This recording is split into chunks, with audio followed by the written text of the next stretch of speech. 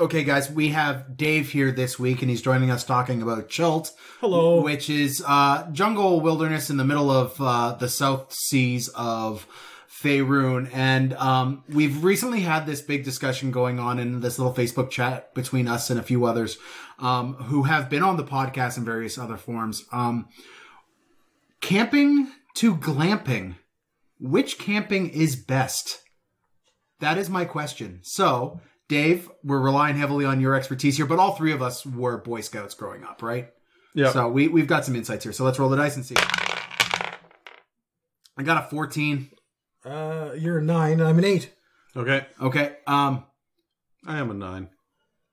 packing your stuff in, bringing some food with you, um maybe bringing some like water sandy tabs or whatever the fuck else you need to do. It's been a few years since I've gone because I have kids and I haven't been able to go Yeah. legit hike in the middle of the woods somewhere and set up just in the wilderness.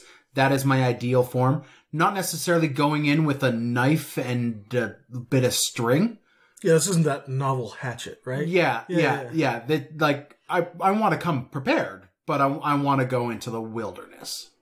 Yeah. That, that's that's my ideal. Yeah, no, look, I'm the same way. I don't want a campground. I don't want to, I don't want other people around. I don't need running water or a toilet.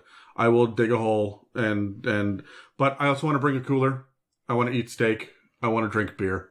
Yeah. Right. And I want to it's not it's not quite leave no trace, but definitely within a month there's no real sign besides a couple of trees missing that I was ever there. Right. So that's that's my answer. That is my level of comfort where I can drive in to just the wilderness somewhere. Yeah. I can drive in and live to set up the tent near my car and have the cooler in the back of the car and I just live my life. So We we did something like this for my bachelor party, and I think it was fan fucking tastic. I woke up in a river. You woke up in a river. I I would you almost didn't wake up. I almost choked and died on steak and got shot in the face by my brother. But yeah, with a gun. With We- a gun. You're not making that shit up. Yeah, It was an airsoft gun. it was two days before my wedding, and I got shot in the eye with an airsoft gun. Anyway, Dave She still married you. Obviously, it's not about the looks for you, Dave. obviously, It never was. Obviously. It never was. Dave, what about you? Um, I like the idea of having a base camp and then getting out into doing other things. Uh, so I like a little bit of comfort. I think I have proven myself over and over that I can light a fire in the pouring rain. Uh, I can make shelter out of anything wherever I am. I can do this stuff. It doesn't mean that I like to or that I have to, okay?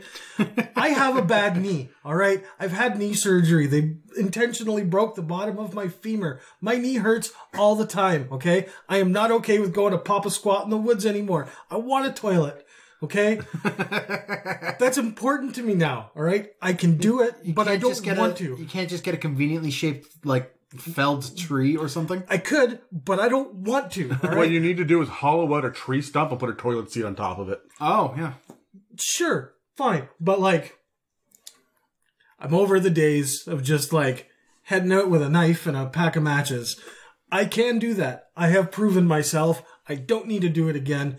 Give me somewhere where I can be warm, I can be happy, and I don't need fancy steaks or anything. Part of the fun is eating those cans of beans around the fire and stinking up the shelter with your buddies, making fart jokes and telling him he smells like a piece of shit. Because really, He smells, like, a piece, of shit. Yeah. Right. Yeah, yeah, yeah. Okay, in my defense though, I want steak a couple of times. I'm not relying on that. This is about like marshmallows and hot dogs over the camp. There, there's something, there's something fantastic about lake water tortellini. I don't know what it is, You're not but like wrong. there's a special spot in my heart for that. But I also like the idea of going out, catching a fish, all right, gutting it, putting a stick through it, and then cooking that on a fire. Like that.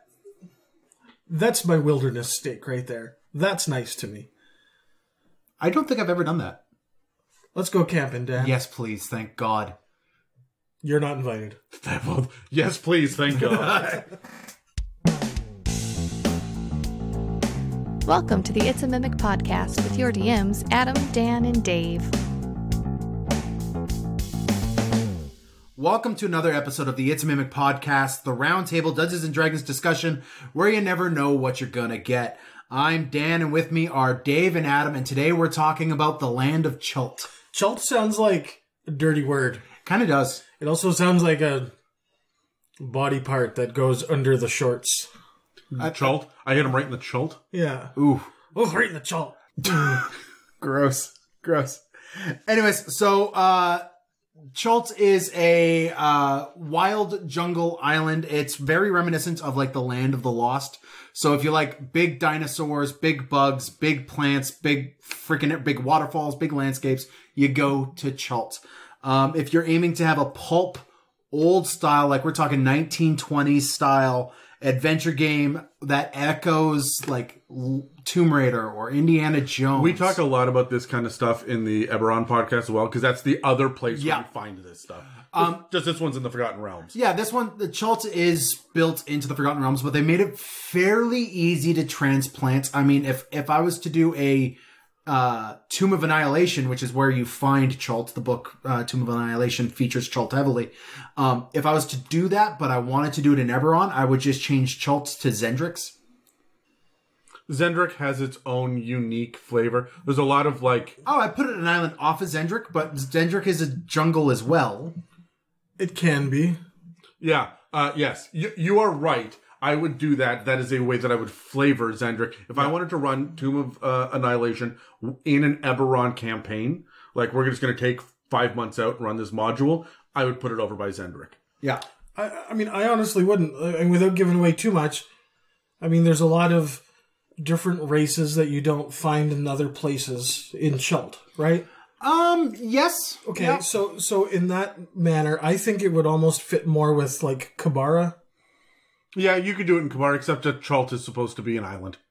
Well, it was But- an island in past lore. It is now a peninsula Oh, oh, um, shit, there you go. connected off off the thing after after the spell plague hit. A lot of the water uh, rescinded, and there's now a connection to the neighboring continent. I, I like it off Q'barra because of the dinosaur connection as well, and the Talenta Plains are nearby. Yeah, and, but and- yes, and, yes. like it, it was uh, solitary from the rest of Khorvaire. It had the, the the mountain range that blocked it off, and it's only recently been discovered and brought into the the nations of Khorvaire. Like it's it's eh. Yeah, but Chult has its own unique, different flavor. That's not just ancient, fallen, giant civilizations, and now crazy other, um, like the Drow are there and only there, um, in Yeah. Xen'drik in Eberron. So Chult has its own unique flavor. It has its own unique flavor. Um, it it's it's very tribal. Um, it's very like South Pacific. Like if if I was wanting to play a Samoan analog, he'd probably be from the Chult area. It's got this tropical feel.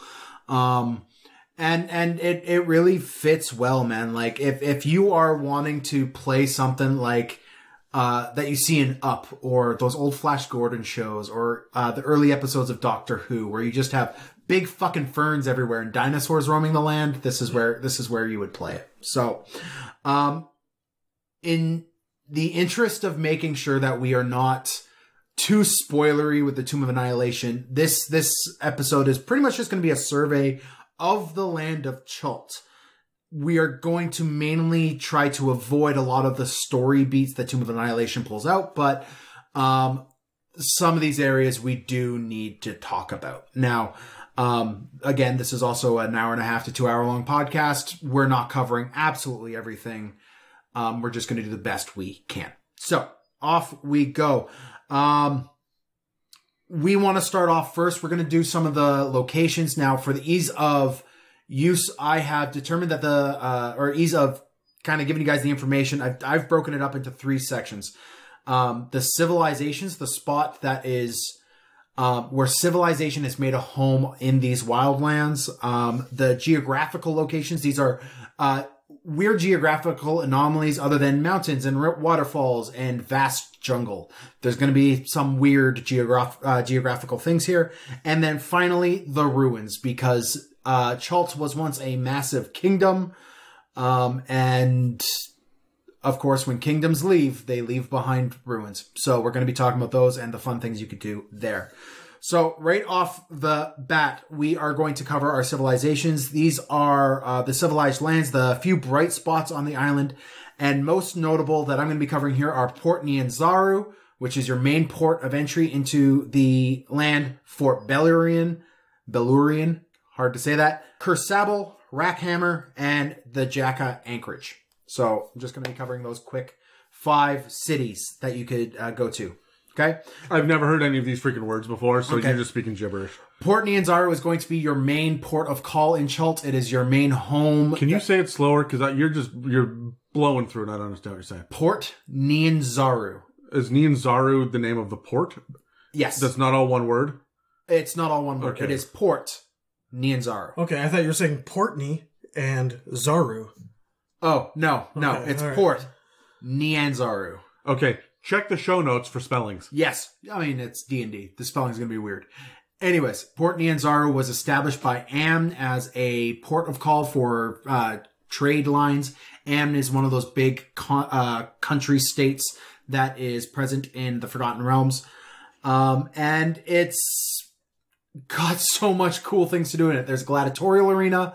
There's um, it's got very heavy naval and tribal themes put in. It's kind of like an Egyptian bazaar met like Morocco. Is there a, a, spec- a specific um, race that is like the dominant? Humans. It's mostly humans. Uh, Chultan humans are the main race here, but it's it's a bit of a melting pot. They're like it is a main port city on the main uh, trade lines for all of the Sword Coast. So it's it's got a bit of a melting pot feel to it. A lot of people come in and out, ma- very multicultural.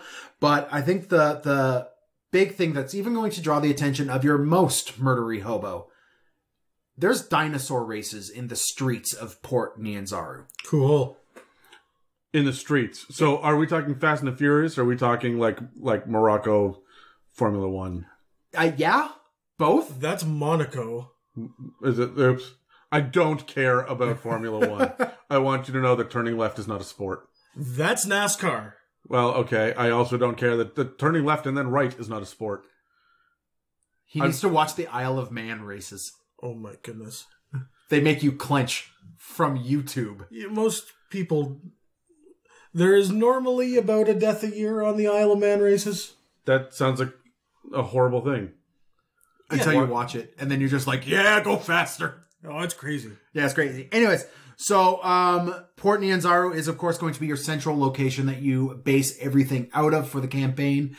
Um, and I don't want to get into too many details because when it comes into Port Nyanzaru, it's fairly central location ish. I know I've said it four different ways. I apologize. Uh, next on the list is Fort Beluarian, uh, which is the home of the Flaming Fist organization. Okay. what? Fort Beluarian. Balurian? Yeah. Okay, and it's a flaming fist? Uh, home of the Flaming Fist Company, which is a militia that came here after their leader got a little bit expeditiony. So he brought his entire company over, established, established the fort, and then went on an expedition, died. So they named the fort after him. And then uh, Baldur's Gate basically bought this, and now it's a Baldur's Gate outpost on the island of Chult. Flaming Fist was I think that was the name of the of the kid uh in Deadpool 2. Wasn't it Russell? Yeah, but like his X-Men name was Flaming Fist, I think. Something like that. I'm not kidding because they made a whole bunch of like horrible sex is Deadpool 2. Oh, yeah, Right, yeah, but fair like that's all I can think of right now is just a bunch of that kid walking around. Yeah. Um, I, I, I don't want to uh, give any illusions, though. Uh, Fort Beluarian is in itself, its own in its own right, a very large um, town. It's got a population of about a thousand people. Is this on the coast too or is It it, is also on the coast. It's in the bay. Of, it's just off to the Bay of Chult, Okay. um, How, which how big is the island of Chult? I don't I don't really have an idea. it's massive. Um, Can you give us a like are we talking are we talking Vancouver Island, Great Britain, North Australia? to south, it's bigger than the Sword Coast, right? uh, north to south, it's about the same size as the Sword Coast is. Shit. Um, and east to west, it's probably about the size, I would guess, of Texas. My god, this is the, so you're talking a Canadian province. This is about a Canadian province size worth of land. Jesus. If you have the map of Chult and you see the grids, each hex is a day's worth of travel by horse. By horse, and I'm assuming that's on a road too, like Oh, there are no roads. Okay, so all right. Okay, no, that's that's that's big. It's it's it's fucking massive, which is one of the reasons why this is the campaign. If you want to go on an expedition, you go to Tomb of Annihilation, you go to Chult. Okay. Um, next, and this is just a really cool one, is uh, Kir Sabal. Kir Sabal is on the eastern side, uh, near the Sky Lizard Mountains. It is an purely Aarakocran monastery.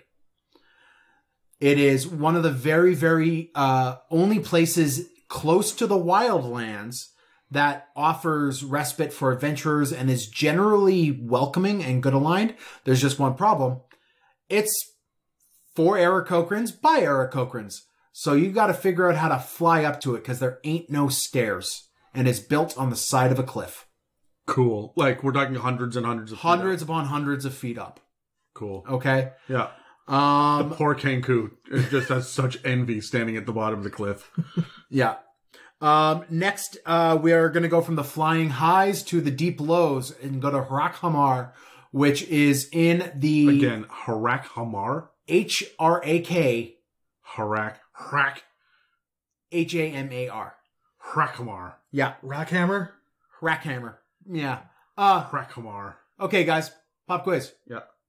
What kind of creature lives in Harakhamar? Hrakhamar. Note, it's a cave. Uh, uh, cave troll. No, dwarves.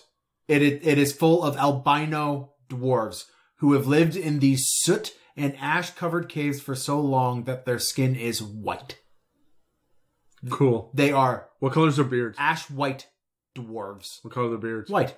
Look Like completely albino. though. Completely Red- albino. red eyes Red everything? eyes, everything. Cool.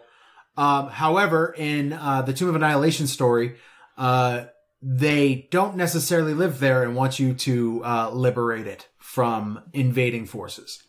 So uh, there is also a, a guide that you could get that is from there. That's whole mission is to free Harakamar so the people can go back. The big claim to fame in Harakamar is the massive adamantine mines. There are massive mother loads of adamantine just under the mountain in Harakamar, and if you are to free them, you have access to a endless fortune of adamantine. I mean, you got to fight through fire newts and fire elementals and dragons to get to it, Yeah. but Adamantine is, is one of those things that I've got a real love hate relationship with in D and D because it doesn't make a fuck ton of sense to me. Um, I, I have this problem with any fake metal though. Everything Yeah. from unobtainium through to unobtainium, Vibranium. I have special but, issue with. but vibranium, um, like adamantium from the Marvel comics. The like anytime that there's there's anything like that, I've got an issue with it.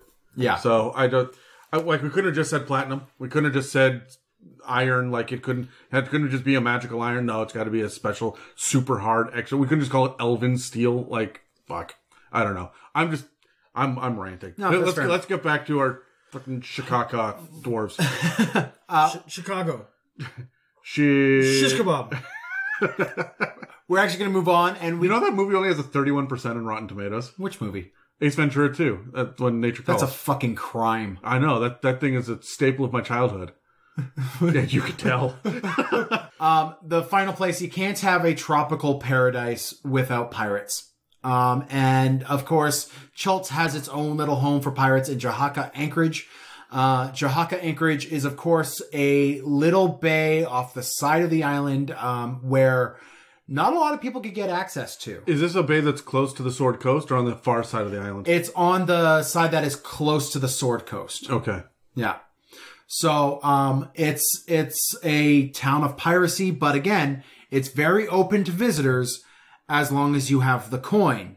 Um, but I mean, I would recommend keeping a close eye on your belongings, even if you're there, because hey, it's still a pirate town. Is is this like the equivalency of what what was the Pirates of the Caribbean? Um, yes? Tortuga. Tortuga. Thank yes, it, it it's very very closely tied with that. Okay. right? And you have to like pass these massive stone pillars to get into it if you're coming by the water. So, so we'll now quickly cover some of the key features uh, that make Chult stand out in the unexplored jungle island paradise with bugs the size of trucks that will kill you on sight. And oh yeah, wild dinosaurs crap.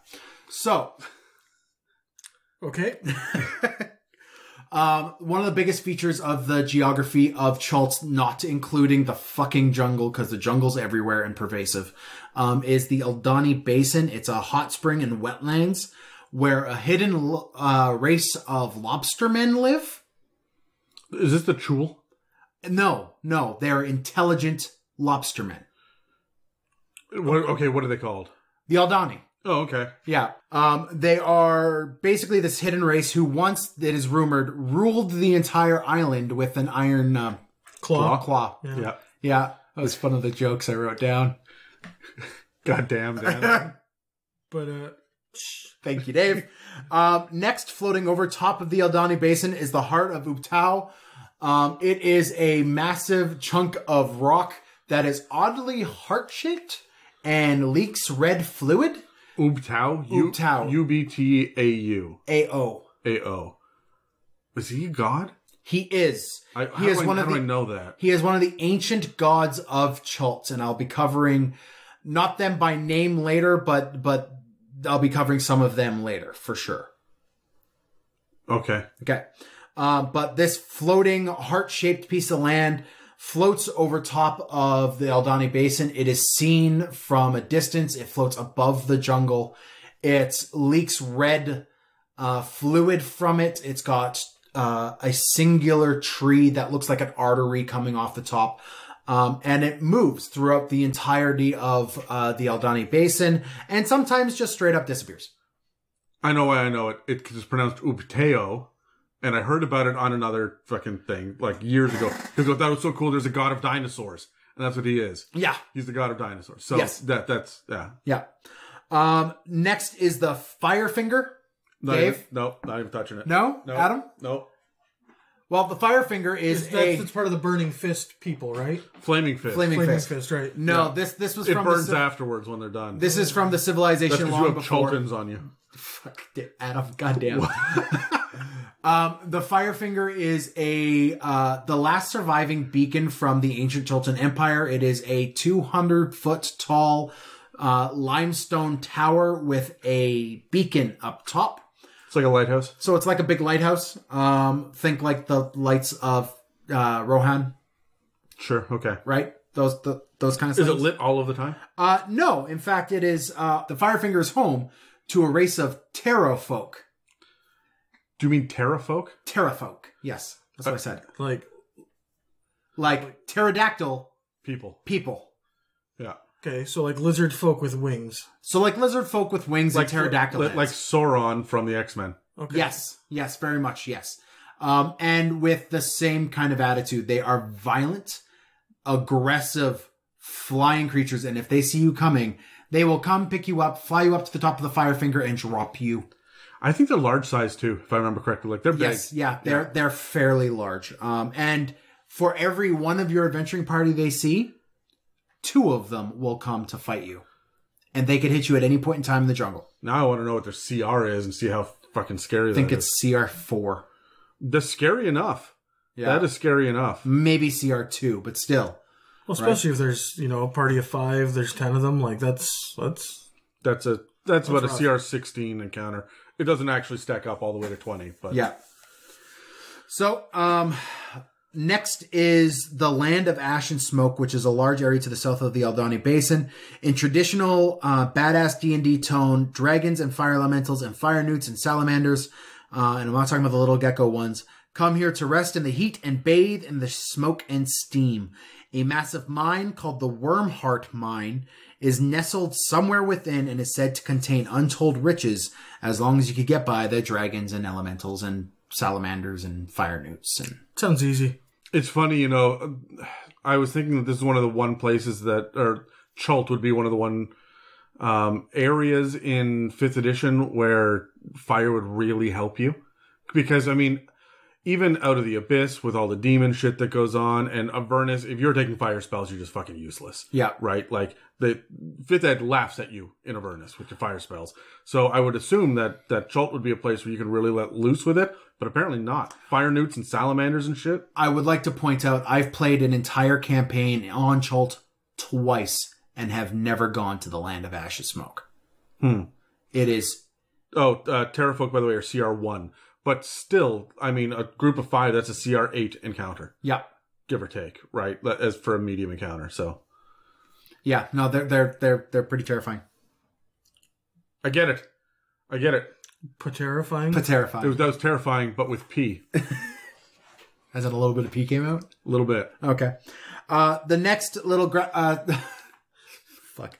The next uh, geographical location I want to cover real quick is the Cauldron, which is next to the Land of Fire and Smoke, but I wanted our Land of Ash and Smoke, but I wanted to draw uh, attention to it because it is the section of the island that or the ocean around the island that boils. It is acidic water, and uh, to put your hand in it is to have the flesh slough off the bone. okay, and I'm assuming that this will like eat away at your wooden boats and stuff too. Yes. Yeah. I've seen Dante's Peak. All you need is a grandmother. You'll be fine. Oh. Oh. No? No? Too dark? So I was watching a show the other day. Sorry, tangent for a minute. Yep.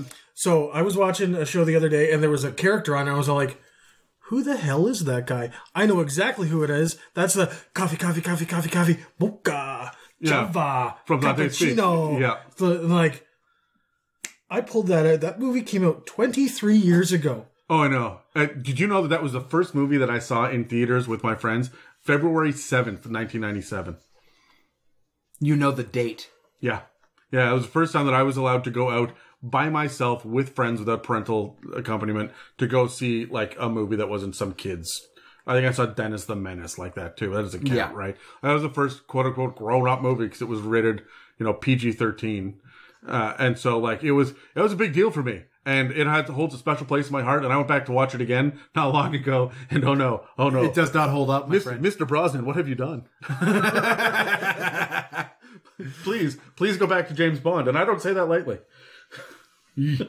Um, so we're we're done covering the geographical places. I just want to cover the ruins real quick. There is the town of M- um, Mbala, Mbala. M B L M B A L A. They got one of those in freaking Eberron too. They've got a um The dwarven place, no no no the the plane of uh Mabar. Mabar. Mbar. Yeah, but it's M apostrophe. okay. Yeah. Well, there's also the Roar holds as well, Oh, the- which is M R O R.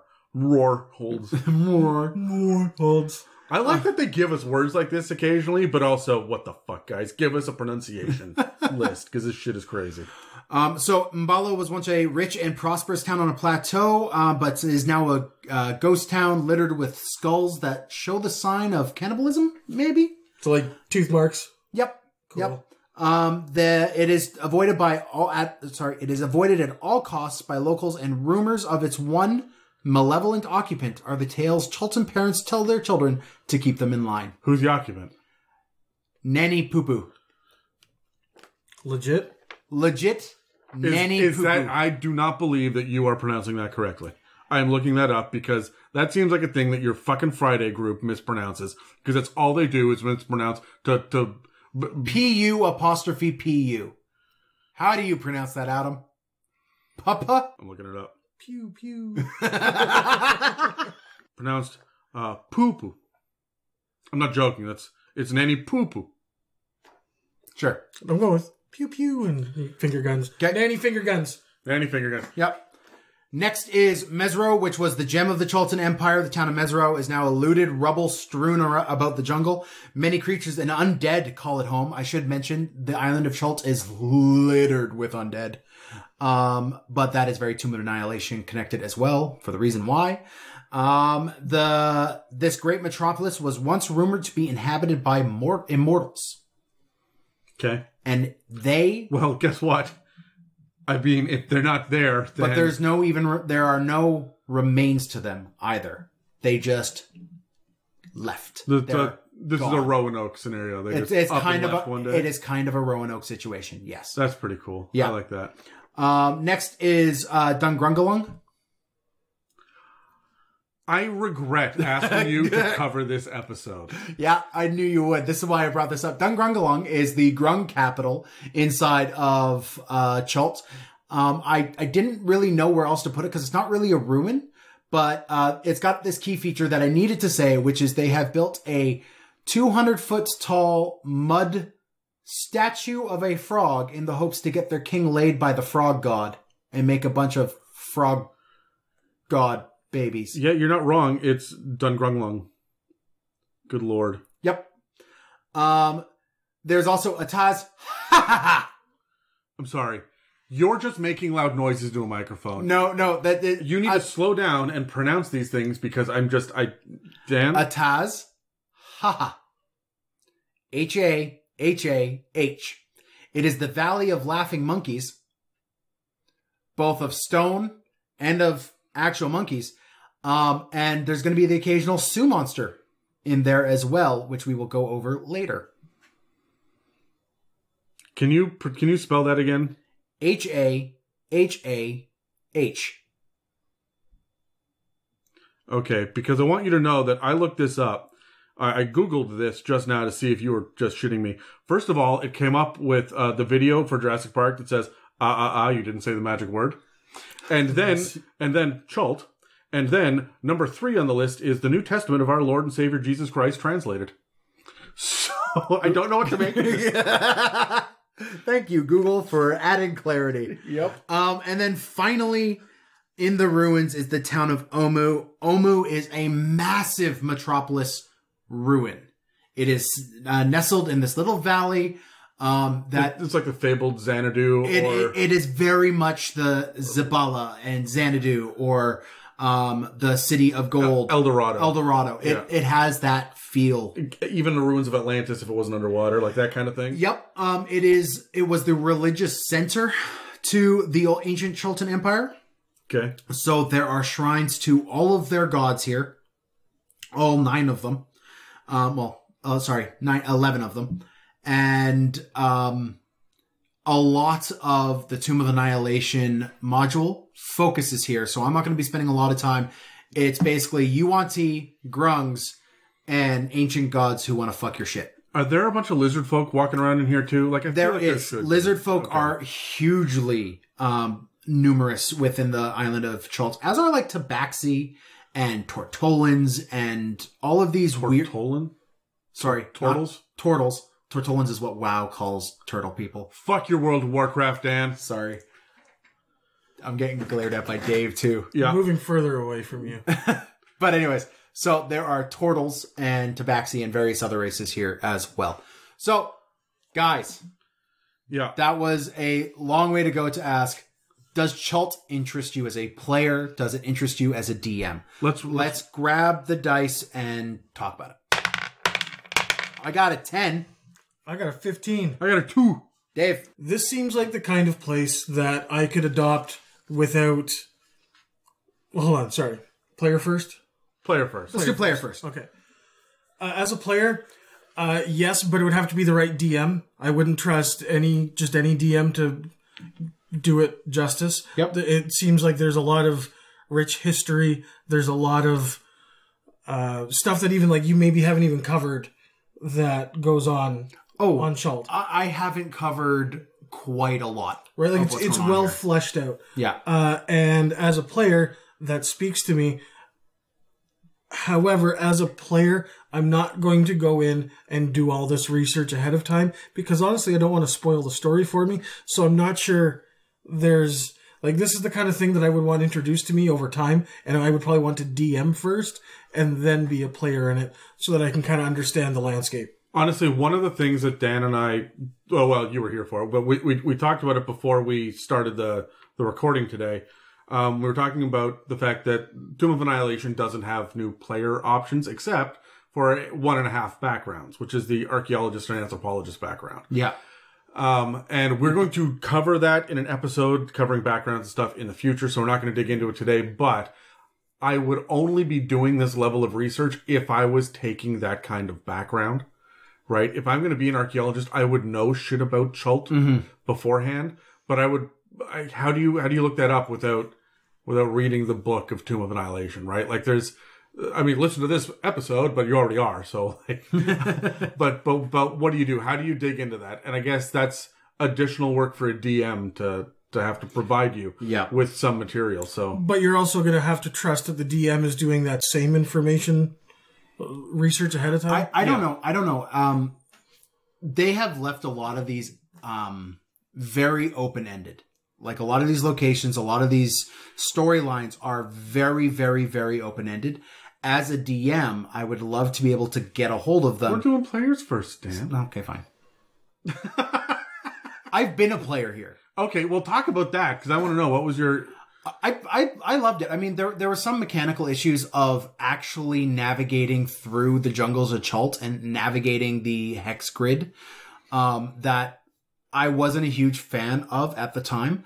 But this was a f- brilliant campaign. Like I, I, I this was the one I played. Uh, uh, Tiefling Bard styled over the uh, Charlie Daniels song, uh, "Devil Came Down to Georgia," and I played a golden fiddle that I would hit people with. And your name Uh was Red. Oh yeah, Redemption. Redemption Guthrie. Yeah. Redemption Guthrie. Yeah. It was fan. One of these days, a player is going to provide a legit name that does not infuriate me, and I'll be very happy. Um, But until then, I've had so many good ones. as a lately. Tiefling, Redemption's a good name. The fact that I made him Red Guthrie and I gave him a southern accent made it worse. yes, that that Yeah. that's very true. Yes. Uh, but I, it, the campaign itself was really, really awesome. Um, my problem with specifically the Tomb of Annihilation module, and I'll just say this real quick. You spend seven eighths of that module getting to the Tomb of Annihilation. But the Tomb of Annihilation is by far the most fleshed out thing on the rest of the island. Hmm.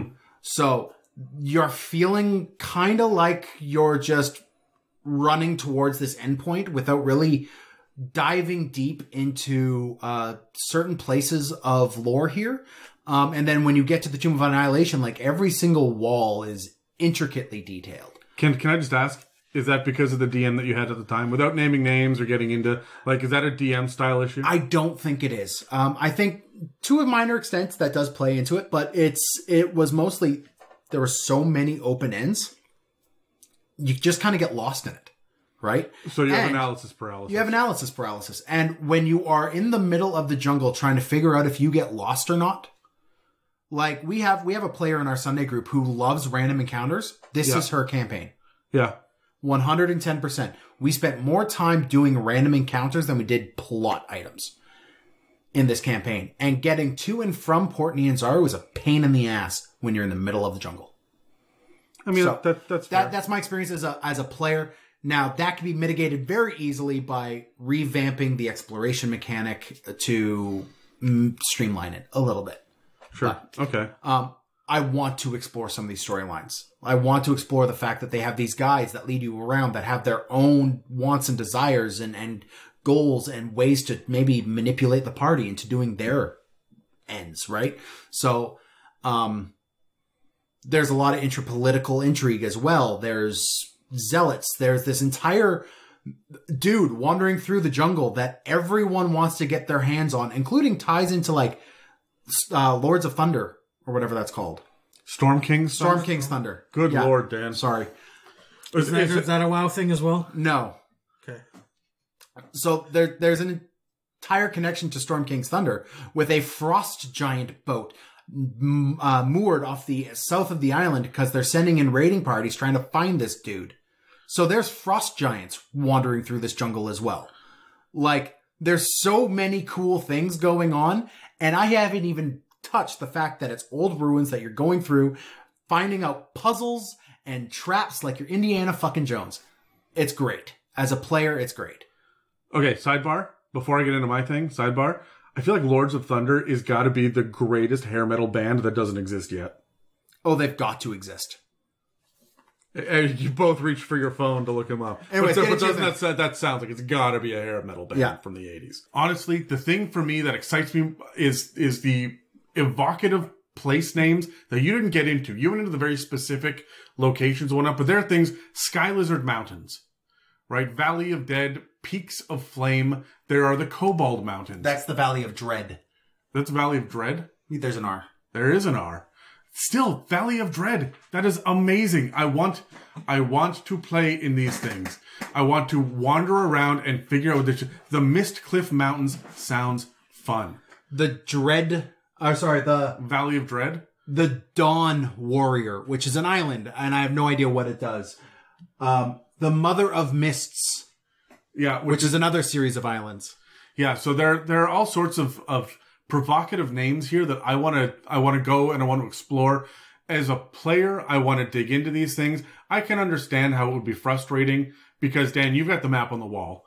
right? And I can see that it's half filled out. You kind of know where some things are, Mm-hmm. right? And I'm like, that's that's so unfortunate. I want to wander around. I want to uncover what is in every single one of these hexes. Do you like legitimately get to fill that in as Yes. you play? That's friggin' cool. When we when we sat down, we were all like, "We're going to do Tomb of Annihilation." My, our buddy Nick, who is a, a fantastic guy, I love him to death. I've mentioned him millions of times on the podcast. He went to a printer and blew up and printed off the map so we could post it on the wall. You see, and- you see, there's the actual one beside it. yeah. yeah, So yeah, Nick blew up a, a huge one so that you guys could color on it and draw on it and all Yeah. that shit, right? So um and make notes. So anyway, yeah, I'm uh I'm, I'm super stoked about playing gear as a player, but I'll tell you, I will be completely upfront about it. If I know that we are going out into the middle of fuck off nowhere to do shit, I'm gonna pick one of the one of those classes like uh the Rogue Scout or um I, I don't know the I'm going to ask to be the uh, revised Ranger Hunter, right? Like there are a number of different ways that I do this. Well, maybe a barbarian, something, a druid. I'm going wilderness with it. I'm going to min max the fuck out of it, right? Because I do not want to be that poor asshole that is clomping through the the jungles wearing heavy armor and full plate, carrying a shield, and and just like all of that is just going to be a pain in the ass. And I don't want to. Like, I gotta I gotta pick my my character you you really do Correctly, Yeah. right? Um, I suffered as a bard in in the jungles of Chult because there's no social. There's very little social. The second you leave the main civilization points, this sounds to me like like like a DM problem more than anything else because as a dungeon master, I have to know that there is a bard in my party who needs social. So I'm going to add another guild to the story that is also looking for things. and Yes. shit like that, right? When when we ran it, we had a guy who who rounds very very close to the module. So like it, it was he didn't want to add anything new. But that being said, there are factions you could come across here, um, but a lot of it is random tables. So we just didn't come across a lot of them. Yeah, so like these are these are things that I would myself as as a player I'm going to lean into the the location and away from certain kinds of of builds. This is not the place that I'm going to play a Oath of Redemption paladin. I feel like I'm going to suffer. But mm-hmm. a nature cleric would be absolutely phenomenal here. You want your detect poisons and diseases. Oh, yes. You want your create water, right? You want to be able to purify water and that kind of shit. If you're going to do something like this as a player, that's what I'm focused on. Yeah. Now it should be noted, Adam, that I did look it up, and there is a band called Lords of Thunder. Yep. Um, they are a metal band. Nice. Um, and they're about Lords of Thunder on their Bandcamp. Says, For eons we have slept, awaiting the opportunity to be reborn in battle. The time is now for the Lords of Thunder to awaken. My next College of Swords bard is going to be a Lord of Thunder. The evil god Deoric has summoned his minions in hopes of purging all who would resist him. I don't know what their music sound like. They're my soundtrack for tomorrow. Okay. Yeah. Okay. Yeah, Good yeah. luck with that, Dan. Okay. So, So, as, as DM, same order. as DM, same order. Dave? Let's roll for it. I haven't rolled enough dice lately. Apparently, neither is Dan. 19. 17. Same order. Same order. All right. I'm glad we did that. uh, as a DM, I like this because it. I mean, it, it's like most other campaign settings, only in a campaign setting. Like it, it gives it gives me a world. I don't need to leave it. It's all fleshed out. It's right there. It's ready to go. It gives me a political atmosphere that I mean, probably lack thereof, but it gives it more on like a, a city Yep. scale. Uh, and, and it's just it it it there's enough there that I can take the parts that I want and add in the other parts that I want and make this really what my players want. Yeah. This feels like they've created a skeleton for you that you just need to flesh out. You're not building this from the ground up. Yeah. And I, and I like that. I don't have to worry about drawing a map and providing this information. That's the kind of stuff that I that I do like to do, but at the same time, I get busy and I don't always have time for this.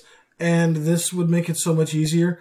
And I don't have to read about a thousand years of political intrigue in order to figure it out. Yeah, Port Nyanzaru and a lot of the civilizations here are relatively new as well, right? and there's a rapid changeover that happens as uh, political entities from outside of Chult invade to take over the trade routes. Right? It, it's there's so many things you could do with this. As for me, I like it. I really want to go and I, I would want to run it fairly close to the module. I wouldn't want to try to interject a lot of my stuff because there is so many things that I have never seen. But in doing my research, I'm like, wait, that was a thing that we could have done? Shit, I would have loved to have done that. Right? So, um, I, I want to go into that to explore those. However, there are several, like, Tomb of Annihilation was fairly early in their, um, writing in the publication. in of their Fifth Ed. publication of Fifth Ed. And it shows in some very glaring ways. There's a couple save or die. Um, or if you get into this encounter, you're it's a TPK kind of moments. Well, so so the I mean that's that's just a DM having to get through it and and There, there's there's a reason for that though, and the reason for that is that this was supposed to be Tomb of Annihilation was supposed to be the fifth edition adaptation for Tomb of Horrors. yes. Before uh, Yawning Portal came out, right, and you get the actual Tomb of Horrors. This was the adaptation of it, so there there was a lot of save or die stuff, and apparently they've just moved some of it out into the jungle. Well, yes, but also the Temple of the Nine Gods, which is the Tomb of Annihilation. Spoiler alert. It that's fairly early on. You learned that. Um, the the Temple of the Nine Gods is the Tomb of Horrors, Yeah. like almost beat for beat. No, I know, like that's it was a direct adaptation, but they Yeah. add they built an entire. They built an entire thing around it. So Yeah. so like you still get all that, but like I'm talking like a social encounter in the first couple sessions could end your campaign. Hmm. It's it's a bit weird. So um I would definitely massage it. I really want to try it and I would rework these stupid uh geographical exploration rules they have. This hex grid exploration mechanic is hot garbage. I want to tweak it and at least see what I could do to make it a little bit more interesting. for me, I want to find out what this mechanic is because I haven't played with it, and I am really intrigued. I want to know what it is and how to make it better. Uh, if you're complaining about it, I trust you. You understand the mechanics of fifth ed pretty well, so I'm like, ah, we can find a happy medium. We can adapt this and, and make it better. But um, I would very much 100% not follow the module. I would come to Chult and I would do my own thing. I would pick up all of the pieces that were there from albino dwarves to Eric societies and so on and so forth. And, and I would say, here it is. You guys have a, just a sandbox. Go play in it. By the way, there is a Tomb of Annihilation. Like, if you come across it, you can go into it. You can do it. That's part of it, right? It, you be aware of the fact that there are frost giants that are wandering around hunting this dude. That's a thing that's going on, right? There are going to be a lot of encounters here that you cannot win, and your best option is to run away. Yep. And I would just be upfront about it. This is going to be a difficult but fun sandbox to play in. Go crazy. Here are the rules. And I could, I could just almost, what, Tomb of Annihilation goes up to what, level 14 or something? It's 1 to 14. I think so, yeah. So I would run this at, at uh, you guys start at level 8, you work up to level 11. Um, and the module does give you rules where if you're starting at level nine or starting at level eight, here's the thing. Like it gives you something. Good. to That, that, that, that's really helpful. Yeah. But I would just say, here you go. You can never get above this certain level. So there's always that level of danger. And I would run a campaign until my players get tired of it. Right? Run around and be Eleventh level, by the way, just confirmed. 11th? It goes to eleventh, is is what they're saying, or higher if you have a different Okay. um starting. Oh, point. uh, the Tomb of Horrors, I think, is level 14 in uh, Yawning Portal. yeah, eleventh level is low for encountering the Tomb of Annihilation. Uh, but it's supposed to be deadly. Yeah. Right. And so I would I would lean into that. And I just I I would want to play with all of the stuff that you've talked about that is so weird and different from everywhere else. Like the Aldani, the lobster men. Right? Yep. That's crazy. We don't we don't have that anywhere else. This is the first that I've heard about them. And I do research on this shit all of the time. Why do they not show up in Volo's? Right? I, I want I want to play with these things. These are new, interesting, fun aspects to fifth edition that I wanna I wanna sink my my hands into. Chult really does. I mean, I, I I knew nothing about it coming into this today, like full, Oh yeah, I, like nothing. but this really does feel like it could be a, a standalone campaign setting, right? And I don't mean in the same way like uh, you know the Sword Coast is. That's not what I'm talking about. I'm talking more like this could be its own world, its own book, its own again additional setting, like uh like Ravnica, like Theros, like Eberron. You could really use it that Yeah, way. where, whereas whereas Eberron is a world, then you get things like Barovia and Ravnica, which are very very small geographically comparatively. You don't get a whole world. You get a city, right? With Ravnica, I mean the, that city's massive, the size of a country, but you get one country. You get um in Barovia, you get a valley to run around in. Yep. Um, I feel That's smaller than Chult. that than Chult. Yeah, so I feel like I really want a Chult source book almost. You know what I mean? yeah, Yeah, th- no, I'm with that's what you. I'm saying. Yeah. Yeah. All right, so if we're good guys, we're gonna break for commercial and then come back to talk about some of the den- denizens that live within. Sure. Hello, everybody. You guys know me as Coffee Bitch Dave. You've heard me on quite a few episodes at this point, as well as the Call of Cthulhu miniseries. Uh, I'm hijacking this commercial spot right now just to let you guys know a little bit about the campaign builder.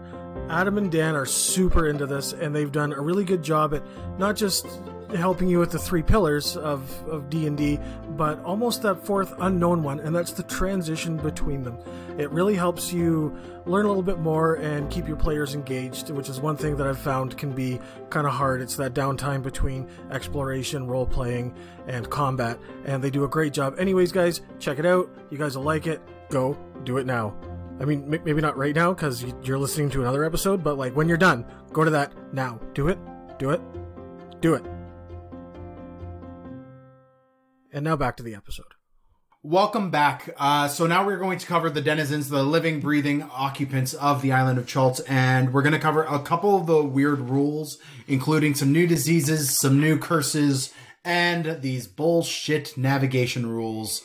Um, Tell us how you really feel, Dan. yeah, they're fucking garbage. Anyways, we're going to do creatures first. Hot garbage, I think you said. Yes. Yeah, yeah. Um, so there are many new and unique monsters that call Chult home. There are dinosaurs. Did I mention that there are dinosaurs inside of Chult?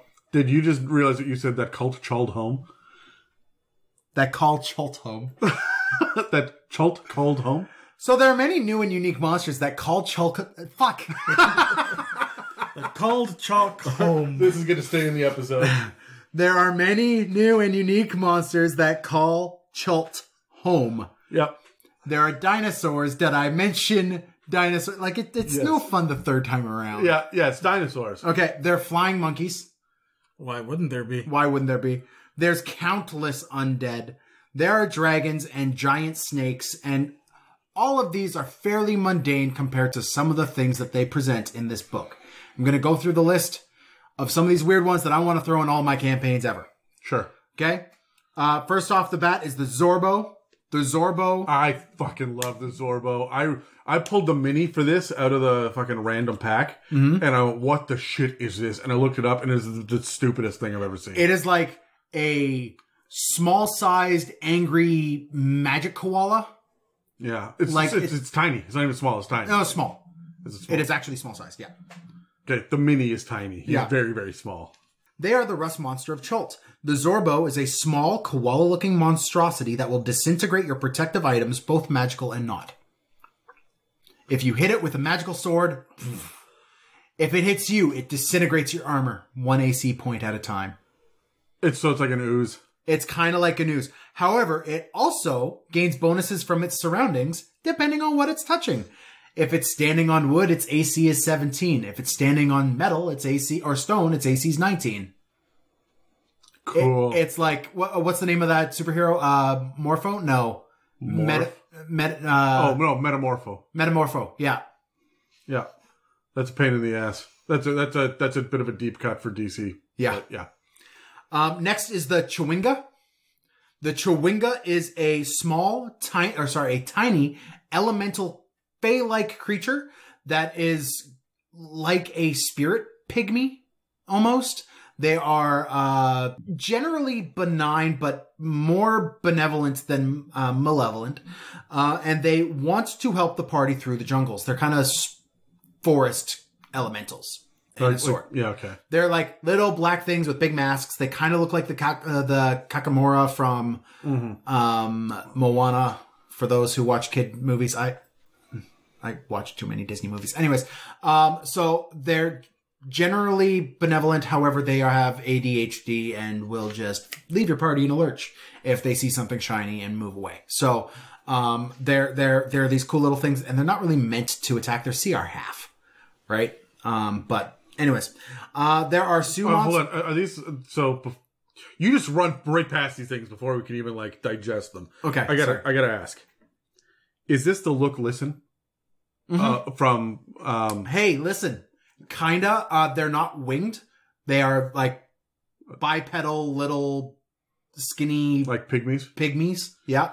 Yeah, but Um, but they're from straight from Zelda. They're, they're Yes, they Oh, they listen. kinda yeah. Okay, cool. Yeah, they've got that feel. Um, I would also accept like Princess Mononoke has tones of these as well, in terms of like anime cartoons, which I'm now getting a look from both of you. So I'm going to. I, I no, I'm following you. Okay, cool, Yeah, yeah. cool. Um, next It pisses me off that Princess Mononoke is the only thing he's pronounced correctly this fucking episode. are the Su Monsters. No, sorry, Su Monsters. Fuck uh, Su Monsters are um, they harken from much much older editions of the game and are now in 5e with a fierceness that only a psionically powered orangutan can have. Okay. vicious, violent, and oh yeah, psionics. Um, they are these horrible things, and they you'll encounter them all over the jungles because they will hunt you down to eat your face. They stun you with their mind and then go orangutan on you. I would probably not use these. I don't. I don't like psionics traditionally in my games. I like psionics as far enough as psychic being a damage type, and you have some creatures that are good at it, like uh, mind flayers. Yeah. The moment that you get psionic spell lists, I'm out. You've just added an extra level of bullshit complication. I really like that, but it's always a fucking afterthought in every edition of D&D. It's always guilty of power creep. No one's ever prepared for it, and I would throw it at the, fucking window. The way I would play these is they have that, you know, um, I would play into the horror aspect of the jungle and have like, uh, the, the cackling waves, like the distant, uh, din of monkey laughter and hooting and hollering that just proceeds with these things. and it's funny because you keep saying these things, and I know they're stat blocks, and I don't know why I know it, but these guys are low CR. You're are. supposed to run into packs of these fuckers. yeah, Right? So the idea is that they're like CR 1 ish, give or take, and they're going to pop in as eight of them at a time to, to wreck house. yeah. So, like, they're scary, but they're not. You said orangutans, no? Oh, I pictured chimpanzees based on the stat They're block in my too big to be chimps. Are they? Yeah, they're large. Are they? Yeah. Anyways, next is the Kamadan. The Kamadan is the displacer beast looking jaguar. Um, except something far worse. The Kamadan is a jaguar that happens to have several poisonous snakes growing out of its back because magic jungles suck. Holy moly! Yeah. By the way, these snakes, uh, it- there's like four of them. They each get an attack and they do 2d6 poison damage. Each. And they each get an attack. These things will tear your party uh, uh, apart no matter what level. You guys ran into one of them and you were level 12 and these guys are like CR 6 and it nearly Four. 4. Yeah, they nearly killed two of you. Yeah. Um, now, because I don't want you guys thinking all I'm talking about is animals here, we have the triflower frond, which is a uh, plant that also wants to kill you. Su Monster's medium. Oh, it's mo- it's medium. Yeah, but still, I mean, an orangutan is medium. Yeah. Um, so the triflower frond has uh, three blossoms that can knock you unconscious, that cover you with acid, or straight up grab you and poison you. And they're half CR, so get ready to fight a bunch of them. Good. Finally, there needs to be more plant monsters in D&D. It is bullshit that we don't have enough. I like this is a constant issue that I run into. And I would assume that Tomb of Annihilation, the book, should be presenting another dozen or so. Um, there aren't a lot because there are like uh, man eaters and like man eaters are present in the book as well, which are big plants that eat men. Um, Probably women too. probably just human things that walk by them. They probably do some like animals, like kamadans. They probably eat them, but um, there's a few, but there's not like again, it's still under supported in my mind. Still not under supported as Fey or oozes, but it makes sense. Yeah. I don't Um, want to talk about oozes. I just had a bad experience. Dave just got killed by an, by a gelatinous cube in last No, night's- I got killed. Oh, by an ochre because- jelly. That's right. Uh huh. No, I got killed because a party member decided to run away and leave the rest of us to die. I am angry. I am bitter. I will not get over this. It's true. I did it. I'm a DM. As as as someone who has uh, fireballed one of your characters uh, more than a decade ago, and you still won't let me live it down, I I, I believe it. Okay. Um. Next, because every single uh, Wizards of the Coast book has to have some cute, adorable uh, animal, we're going to do the Almiraj. The Almiraj is a, and I'm going to read this word for word out of my little notes here. Um, I can't cover Chult without talking about these hornier bunnies. I say they're hornier because they're bunnies, which are legendarily horny animals, just they have a literal horn on their head. They're unicorn bunnies. There's nothing special about them other than the fact that they have they're bunnies with a unicorn, like a horn unicorn on in the middle of their head. Reminds me of the jackalope. Kinda. Yeah. Yep. Um, they're they're cute, adorable. I want them all, except they multiply like tribbles trapped in a uh, Viagra factory. You could have just said like rabbits, stan. You could, Yeah, but tribbles trapped in a Viagra factory is visceral, and I love it. that's a lot of fur. That's a lot, That's a lot, lot of fur. It's like Dave. Well, it's the right level of fur. yeah. Gross. Um, I wanted to talk quickly about the Batiri tribe goblins. They are a uh, tribe of goblins that are throughout the island of Chult that um, are like, again, the Kakamora of Moana. They are like a goblin and a totem pole had a baby. And yes, that's as awesome as you think it is. They're goblins that stack up on top of each other and walk through the jungle as like a tall Man thing. Each with each one with a different like wood mask. Here, Dave. Like that. I'm showing Dave a picture. Oh, well, okay. Yeah. B- Batiri goblins. I love them. They There's- make up a large popul- portion of the population on Chult, don't they? Like they're they're quite prevalent. Yeah, yeah, there's a few big tribes of them. Yeah, Yeah. but they've got like regions, don't they? Yeah. Yeah. There's no joke here. He, I was waiting for the joke. No, I'm just I'm, I'm injecting Yeah. information. Yeah, yeah, no, they're they're everywhere in the jungles of Chult. Um, there's Tinder, not the dating app. He's a dragon, big red one, floats around the peaks of flame. Um, there's Nanny Poop poop. Poo Poo, Poo. Nanny Poo Poo, um, who is an old lady who lives by herself in the middle of the jungle who has some off-putting traits. Do you guys see where this is heading with her? She smells like poo. N- no. It's right there. Okay, so her off-putting traits that she's a hag. Yeah, she's she's straight up a hag. Yeah. Um, and then there's Aremag. Aremag is a dragon turtle that sits right at the top of the Bay of Chult. And this massive port town, central and important to any and every trade route, now has a dragon turtle demanding um Tribute. tribute every time you pass. And he makes it known that he could wreck your shit in a moment if you don't pay him. So boats pay him.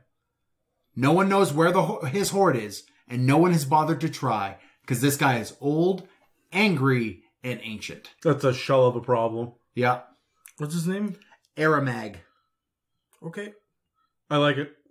Okay, so those are just roughly. I mean, there's hordes of undead as well. There's Yuan-Ti, there's Grungs, there's lizard folk. We've already mentioned the pterafolk and Aarakocras and Tabaxi and Tortles. It's a fairly eclectic group of denizens. Let's roll our dice, figure out which ones we like, what what we would like, which ones we like, which ones we don't. Sure. I got five. Natural twenty. I got a natural 20. I got a 19. I feel ripped off. Good. Fuck you. All right, so Justice for Dave. just hits for Dave. So, um, here's here's what it comes down to for me. I would absolutely want to play with this um, dragon turtle, and his horde would be something that I would play with all of the time. Dragon turtles are underutilized, I agree. and so I want to do that. However, in order to do that, I feel the need to whip out Ghosts of Saltmarsh and grab the nautical boat Oh, rules. you totally can side by side with this. Yeah. yeah and so that's that's kind of where i'm going with that Uh, my least favorite thing is your horny bunny. I don't give a shit.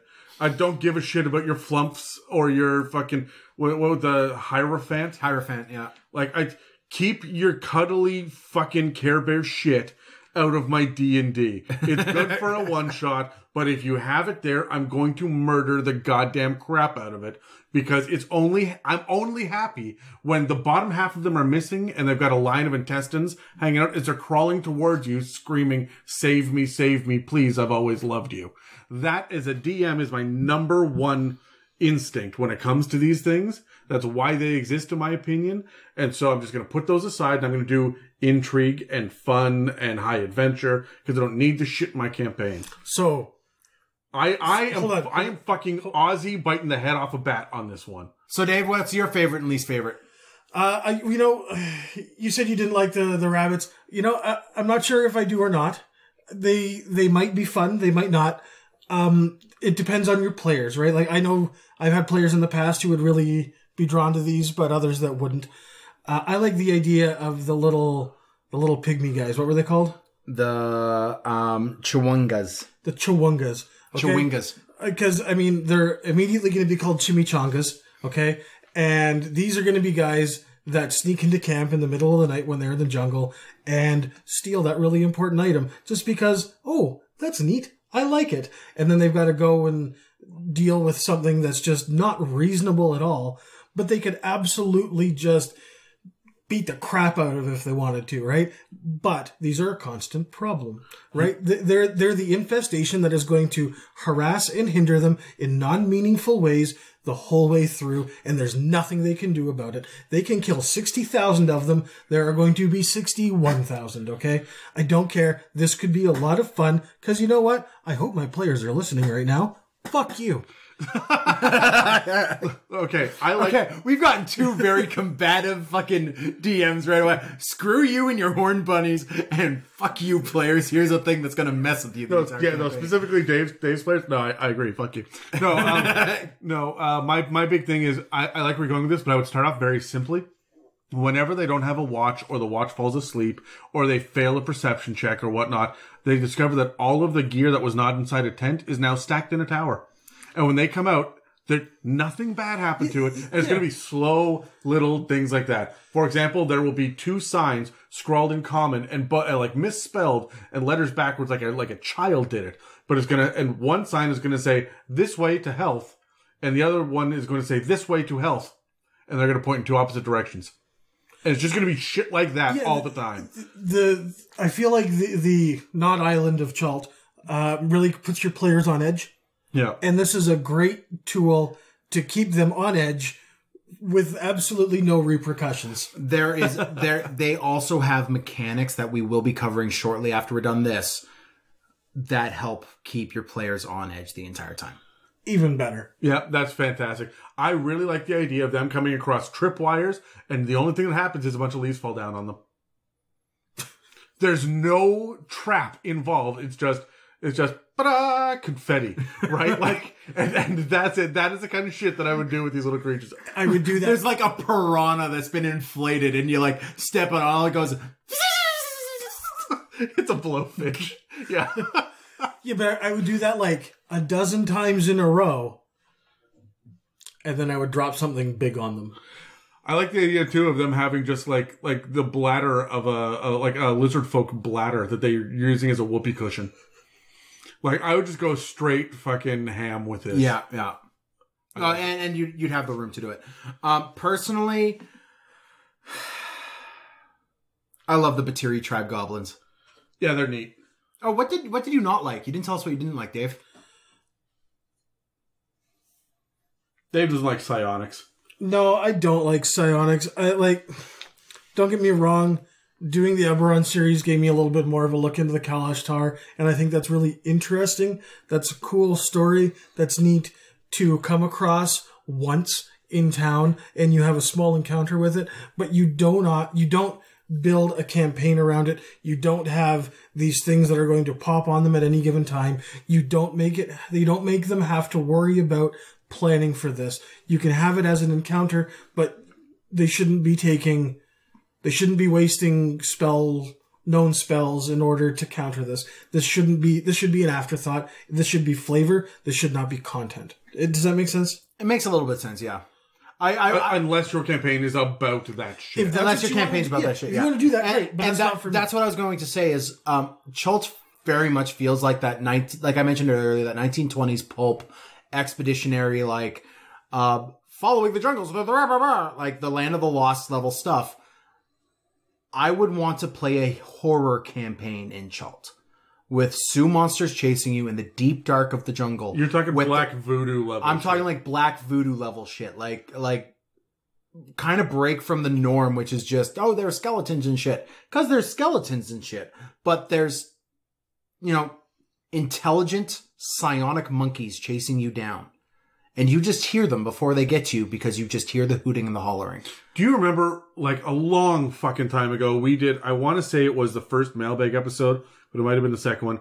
Alexander, another Skip Davis, sent in a question that I had to fucking look up. Oh, the those uh those uh humanoid creatures that have like the The translucent, like, their skin is invisible. You can only see the skeletons moving. they look like that guy from Chernobyl. No, I don't know what you're talking about. Oh, not, none of you guys saw Chernobyl. No. I did, yeah. the, the there was the patient that from Chernobyl that had like the translucent skin. No, no. Firefighter guy. Yeah, I don't remember that. it's fairly central to the plot. Well, I remember the guy, but I don't remember the the visual. Anyways, anyways. Yeah, yeah. Yeah. No, no, these guys were in like invisible oh. except for their skeletons, right? And so, and we were talking about the idea that they would have like war paint on their flesh so that it floats in front of the skeleton, right? And just like really cool, creepy voodoo feel. Yeah. These guys, that's where I would I would inject that shit into Chult. Yeah. Oh yeah. In an instant. Yeah, definitely. Um to be honest, I don't like the Kamadan. Um if you were to have a uh That's because you just got fucked up by one. That's it's why. not because it's you just got fucked up by one. It's just it's too close to the look of a displacer beast. In my mind. Like displacer beasts are an iconic monster and now you it it it's kind of like you've put a floating spaghetti monster next to a beholder. But that's kind of what I like about it because as a DM, when you get players like you, when I describe a player Fuck. and you're immediately like, "Oh, it's this guy," and I know how to fight it.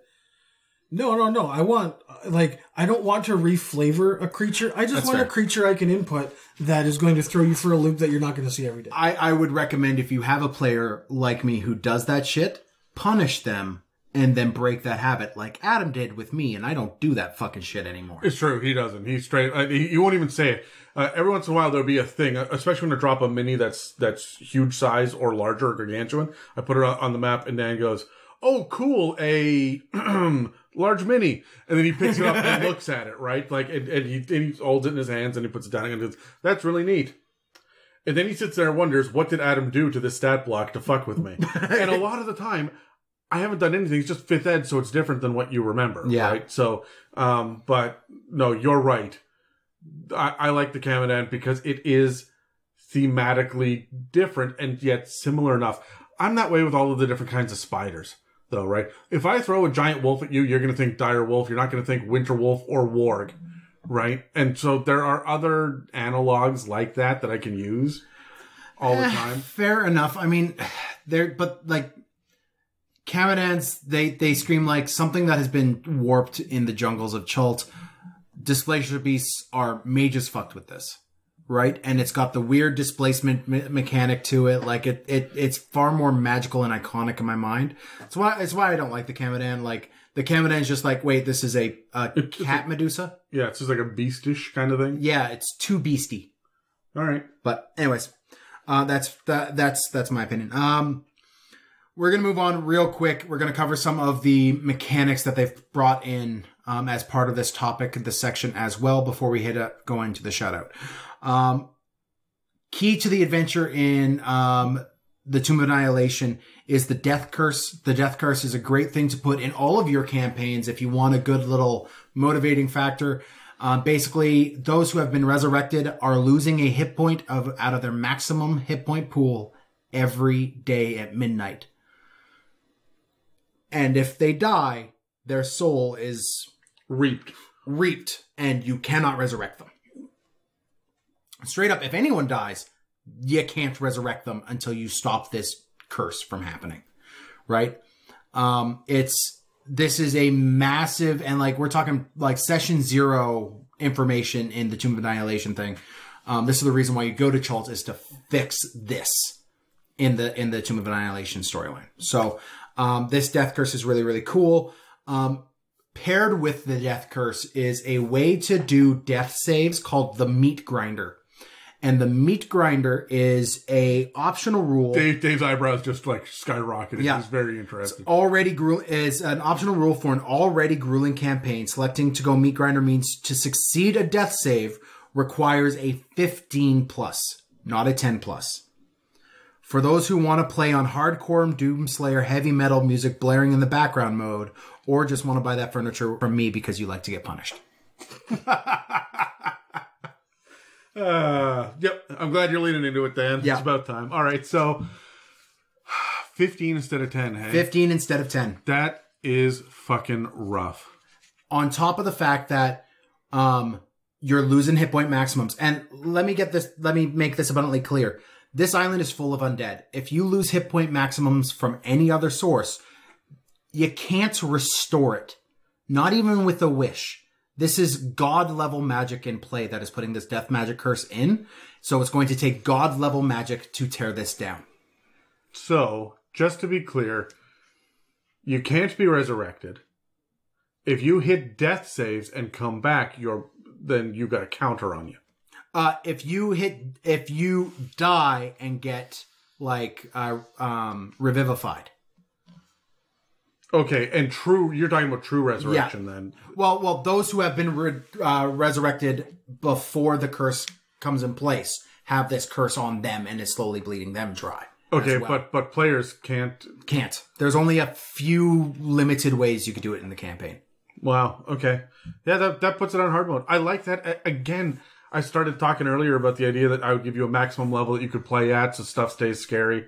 I might just implement this shit in the Yeah. in the first place anyway. So I like it when it's scary. Call of Cthulhu was fun because it was scary, right? Yeah. Like, we sat there. Well, there was a threat. yeah, there's a and a constant threat, and there's nothing you can do about it. Yeah, you can throw dynamite at it all day. No, because even if you succeeded on that twice in a row with critical successes, you would still take motherfucking damage, Dan. You didn't succeed twice in a row with critical successes on the throwing dynamite.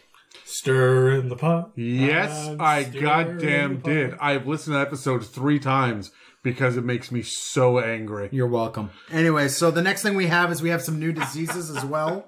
Um, we have Mad Monkey Fever, which is a uh, blue mist that creeps through the jungle. Um, if That's you, fun. yeah, if you c- encounter the mist, you make a con save, and then you go. Uh, if you fail the con save, you get long term madness, which is um, the madness rules in the back of your DMG has those. If you fit, and then you make a save every day, and every day you fail, another madness is added until you get two in a row. And then you're just just out of the campaign, you're done. Uh, pretty much, yeah. If you get two in a row, you're cured, you're good, and then you could get back to it. But this is probably the least impactful. Huh. Yeah, That's not good. Yep. Uh, next is the Shivering Sickness. Uh, if you take damage from any bug on the island at all, keep in mind, there are many.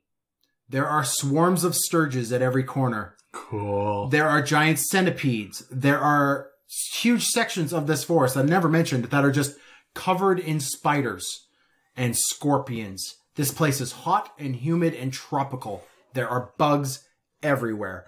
If you take any damage from a bug, you have to roll in Chult, you roll to catch shivering sickness. If you fail, you start having blurred visions and the shakes. Mechanically, this means you have disadvantage on all attacks and abilities, and you only regain half as many hit points when you're spending your hit dice, but you cannot regen any hit points during a long rest. Wow. Holy shit. The long and short of this is bring your citronella, and they have rules for bug spray in Chult. No kidding. Okay, so hold on. What's what's the roll though? What's the percentage? Um, it's a, I think it's a con thirteen. Holy shit. Which, if you're level one walking in and get bit by a mosquito, Yeah, no, I'm thinking con 13, like, your, your wizard is just fucked. bring your bug spray, people. No kidding. Holy Yeah. shit. Um, next is the delicately worded throat leeches. Nice. You get throat leeches um, if you go swimming in the jungle, have prolonged periods of wetness, if you drink from any source that has not been boiled and cleaned, um, not including like create water. You could create water and drink that, you'll be fine. Um, but if you catch rainwater, you'll pro- you could probably still catch this. Um, and there is a rainwater catcher that you could carry around with you to collect water as you walk through the jungle because you do not want to drink the water that is on the ground in the jungle at all. Is there like a catch this. save for this? So if you get this, you will make a con save, or you will slowly gain daily levels of exhaustion until you die, as leeches infest your throat, seal your airways, lay babies in your neck, and you die choke, uh, choking and suffocating. So this isn't even like the outs. I, this is like the the inside. It is internal leeches. I'm I'm bringing a paladin. I'm bringing a paladin because their lay on hands can get rid of one disease for five charges. Only one, only remove disease will cure this. So there's no removing the leeches to make them feel better. Only cure disease. Only cure disease will remove it. Fucking yikes. Yeah, well, I'm I'm fine. I'm bringing a life cleric. Yeah. Or take care of your water. And this this is going to lead me into one of the major mechanics. Survivalism in Chult matters. There are ways to collect food, ways to collect water, ways to keep the bugs off of you, and you are taking a daily inventory of it. I as, as a DM, I like that. I feel like that would frustrate a lot of players. It would, and you would have to go into it acknowledging this fact. Now, a lot of groups I've had is like, well, we have a cleric with create food and water, we're good. No, no, I'm sorry, that's not good enough. I'm still watching shit. Like, and I'm I'm in the same boat where I'd still be watching I'd still be waiting to see what happens, uh, waiting to see who runs out of bug spray. uh, and I'm sitting there saying, you know, all right, your cleric is going to do this. That's fantastic. Mark off your spell slot at dawn. Yep.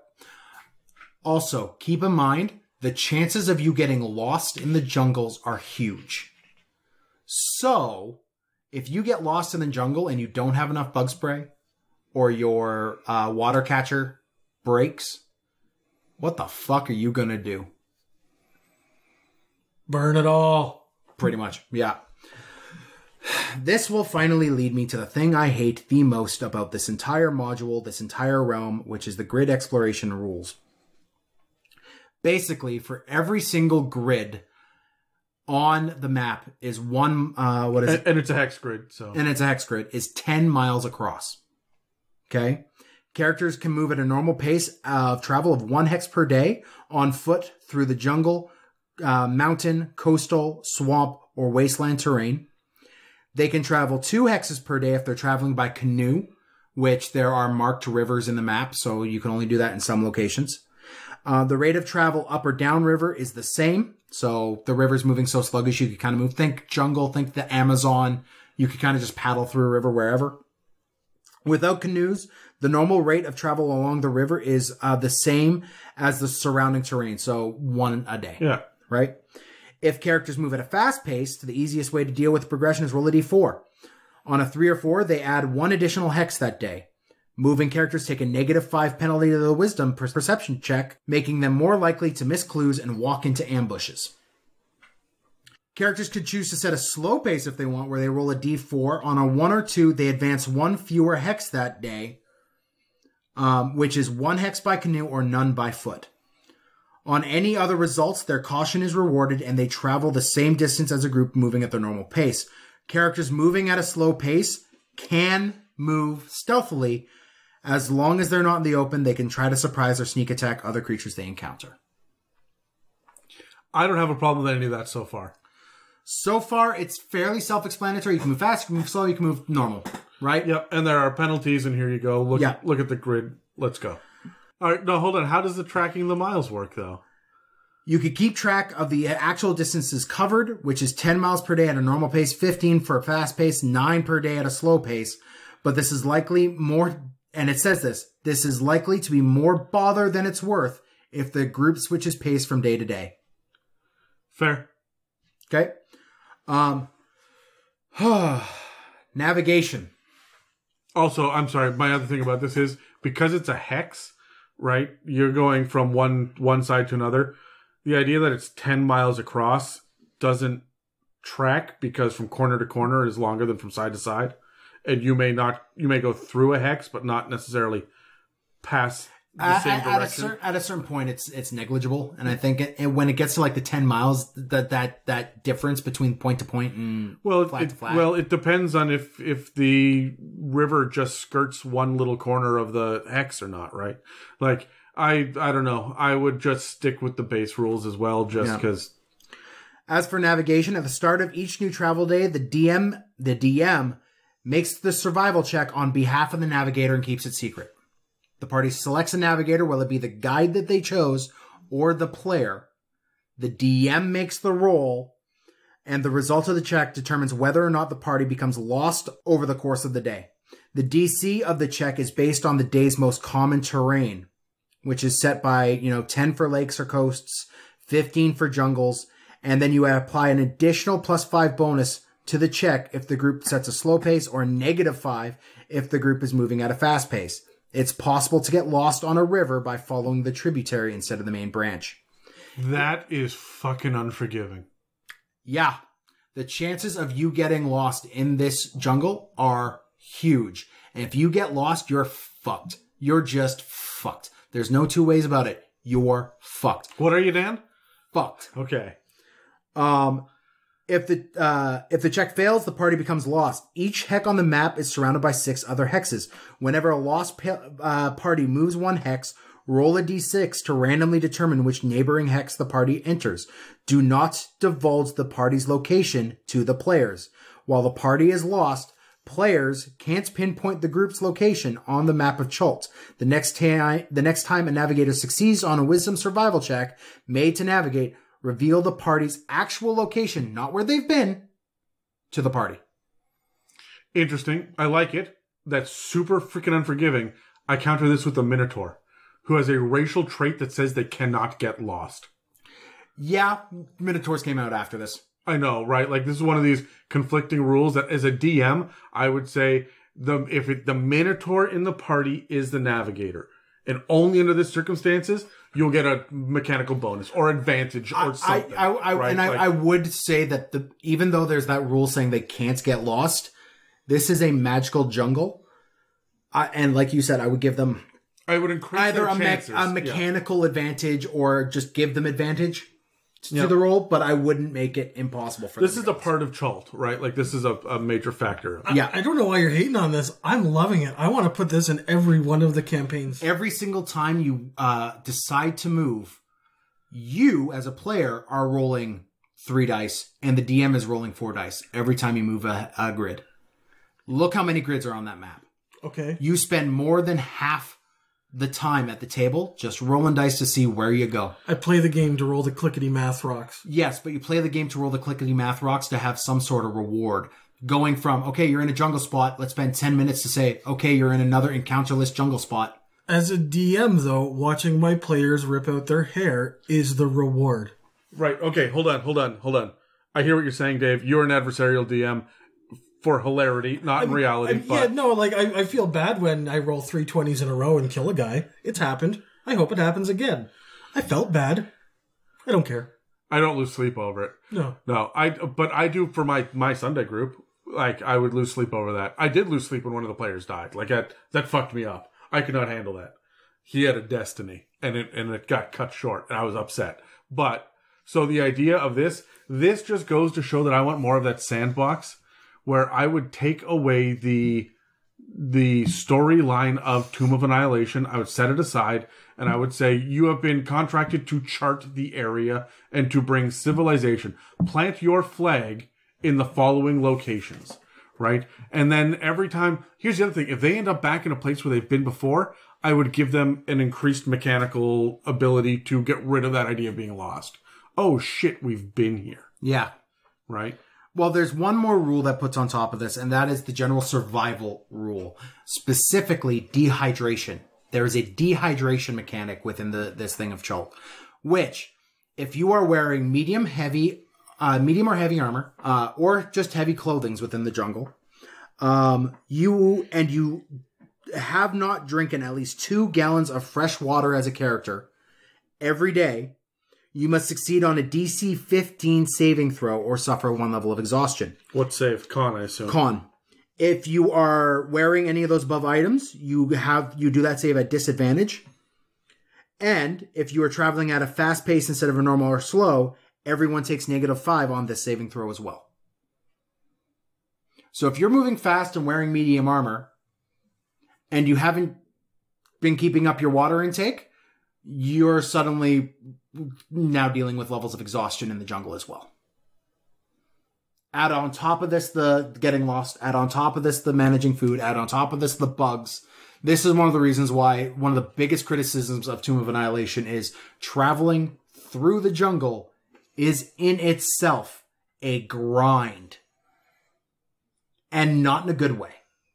I don't know. As as a forever DM, this really appeals to me. I don't know how you make exploration more intensive and I, like the exploration has just become the number one pillar of this entire scenario. Yep. Which is one of the reasons why it's one of my, if I could DM it, one of my favorites. But as a player, it was tedious because, and and that could just be a DM thing. Yeah, and and but but no, here's my thing. Here's my thing, Dan. If I sit down with my table and I say, "Hey guys, look, help me map Chult. You are part of a guild. The guild says I want to be able to blank, find this, do that. hear the here are the check marks and whatnot. You guys build your characters for the guild to go out and do this. Stay safe, do it properly. Good luck. How many characters will it take to get through this this entire hex grid, right? And that's how if we know that we're going to sit down and we're going to play this for 2 years and we're going to really uncover the whole map, the whole island, myself as a DM, I get to develop the whole island and they get to explore it and uncover it. And that's not adversarial to me because they're going to have the tribe that they've found that they're allies with. And there's going to be other ways for them to get around this shit. What you're not talking about anywhere in here is the, the magical aspects that they can do to, to just automatically know where things are. Like, um, uh, the idea that they can, uh, what is it, find, uh, Find the path. well, there's no, no, no, uh, locate object, right? So they can cast that and they know relatively where it is within a number of miles, right? And they can head in that direction. There are ways around this magically. There are also ways around this socially, right? And if you're a good enough party at the exploration, I think it's okay. I just think that this is a very different game than your sword and sorcery Dungeons and Dragons. Yeah. Yeah, let me tell you, I don't think I've ever played a version of D and D where I've had to track my food, my water, how far I've gone in a day, everything you've just mentioned. Like that, I, I, I used to have a mechanic when when my guys first showed up in my homebrew world. They didn't have any supplies, and they had a whole train of refugees, and they were watching rations. Yep. And so they had to stop and hunt every day, and they would roll to see how successful they were on hunting. It was pretty straightforward. It was one roll per day of of movement, right? And depending on what they would get, uh, would- it would be a random table, and the size of the creature that they would find, they would then get a random encounter to try to kill it, and that size would provide a certain amount of meat, and they needed a certain number of like you can see that this extrapolates really quickly, right? You can get really mechanical with this shit really quickly. So I understand this is dense, and I understand why you you might hate this. Yeah. So it's, it's just it's just a need- series of rolling dice. You need to know what you're getting into before you do. yeah. And if you are just traveling, you know, a hundred miles south, then you're just rolling these same dice 10 times over and over and over again. But let me tell you something. Every time you swing your sword, you're just rolling the same dice 10 times over and over again. So the difference is you're getting a sense of accomplishment. Exactly. Whereas this, if you're just from one jungle to jungle to jungle to jungle, it's just it gets tedious. So me as a DM, I need to put something in that hex to say, hey, you have accomplished something here.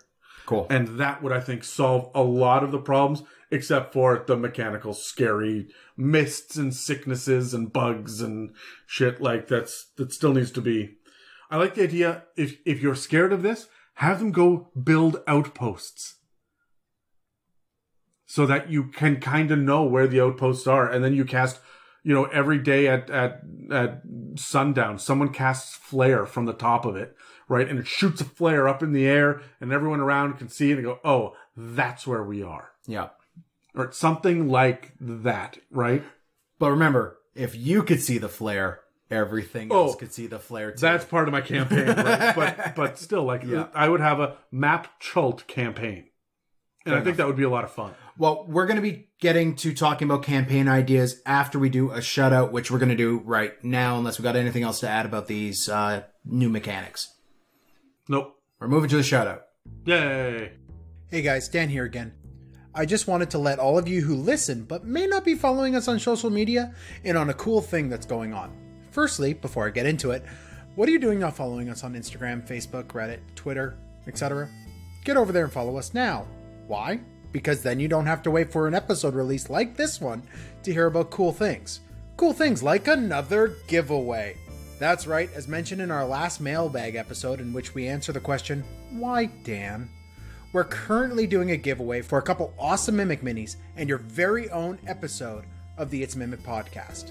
That's right, we will answer your question, whatever it is, at length as a special episode of the podcast. To enter, head over to the Instagram or Facebook, click the thumbs up, and tag two of your friends. For every additional comment with two more friends tagged, you get another entry. And you can totally sign up on both Instagram and Facebook at the same time for even more entries. Cutoff for the giveaway is on June 30th, and the winner will be announced on those lovely social media platforms that you're totally going to go follow now on July 1st. So good luck and on with the show. Okay, guys, so we now know about the geography, we know about the uh, civilizations and the locations and some of the denizens within Chult. Now that you have a bit of an idea of what's going on, I want to talk about um, two one shot ideas, two campaign ideas within the island, peninsula, whatever the fuck, of Chult. So let's grab our dice and roll. I got a six. I got an eight. You're at 12. What are we doing first? One shots or campaign? Uh, one shots, Dave. You do one. We'll go through the list. We'll each do one, then another, and then we'll- Campaigns. and then we'll do campaigns after. I like the idea of going to figure out what this dinosaur god heart is about. But, You know, like really, really dig into it. Really make it hard for them because in order to get up to it, maybe it's inside it. You got to get into the heart to do it, Oh, yep. There's a there's a chamber in it. right? But like, there should be four. eh, maybe is the dragon heart work the same way? No, Dragonheart has eight chambers. You're right. Does it? Uh, in D and D, no, no one's ever gotten into that. But in Adam's head, yes. Yeah, Has yeah, but, but like I would change it to to Yeah. screw with it. I, I would make a a source of this red liquid that seeps from it. I would give it a store like a, a just a you know where where where does it go? Mm-hmm. You know why? I think it'd be really just that easy. Cool. Yeah, that's awesome. I like that uh, for a one shot idea. My one shot idea is, is pretty simple, and it is going to be there's a tribe on the borderlands that keeps you know attacking one of these civilization. You are at this this point, this city, whatever it is. Go into the jungle, defeat this tribe. Yeah, cool. Like it's that's as easy as it gets, right? Instead of goblins are raiding the village, you go raid the goblins. I love it. Um, mine is uh slightly different because have I mentioned that there are dinosaurs on Chult? A couple of times, yes. Okay.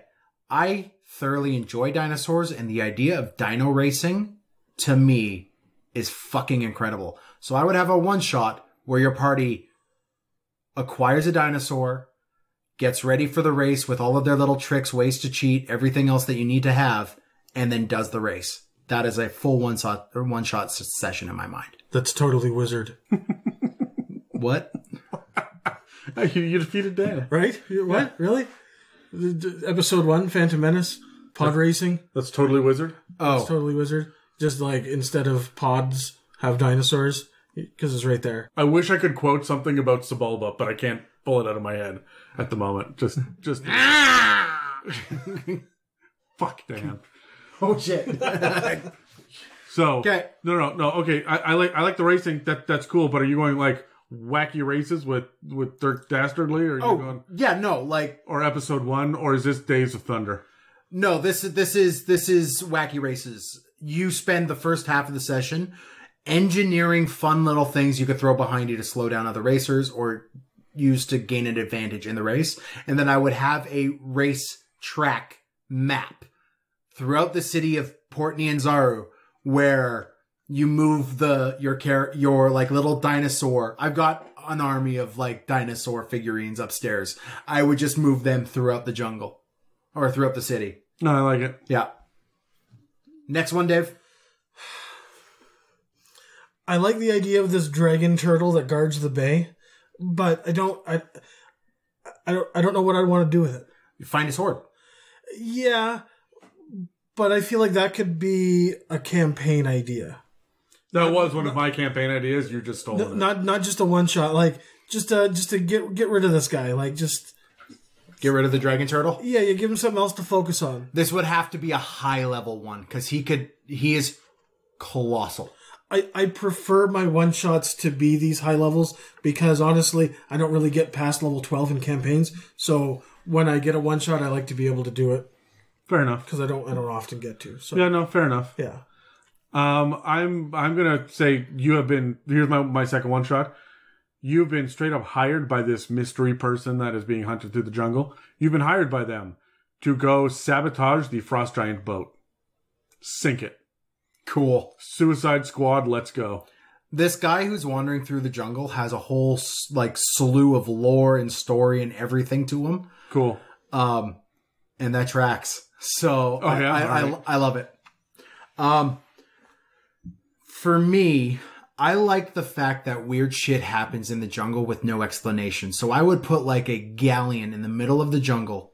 The Black Rock. Yeah, that you have to go to uh, an, a race against other groups of adventurers to attain the prize within. However, Arnst. However, along the way, you have to fight four armed gorillas, which are a thing, dinosaurs, and swarms of stirges, not to mention the undead sailors who call the wreck home. Is it? Th- those are just uh, Girallons, right? Yeah. All right, so Let's roll for campaign let's ideas. roll for campaign ideas. Fuck you, Dave. I got a two. Justice for Dave. I got 17. Just tits for Dave. I'm going last. Dan got a two. Good. Let's go.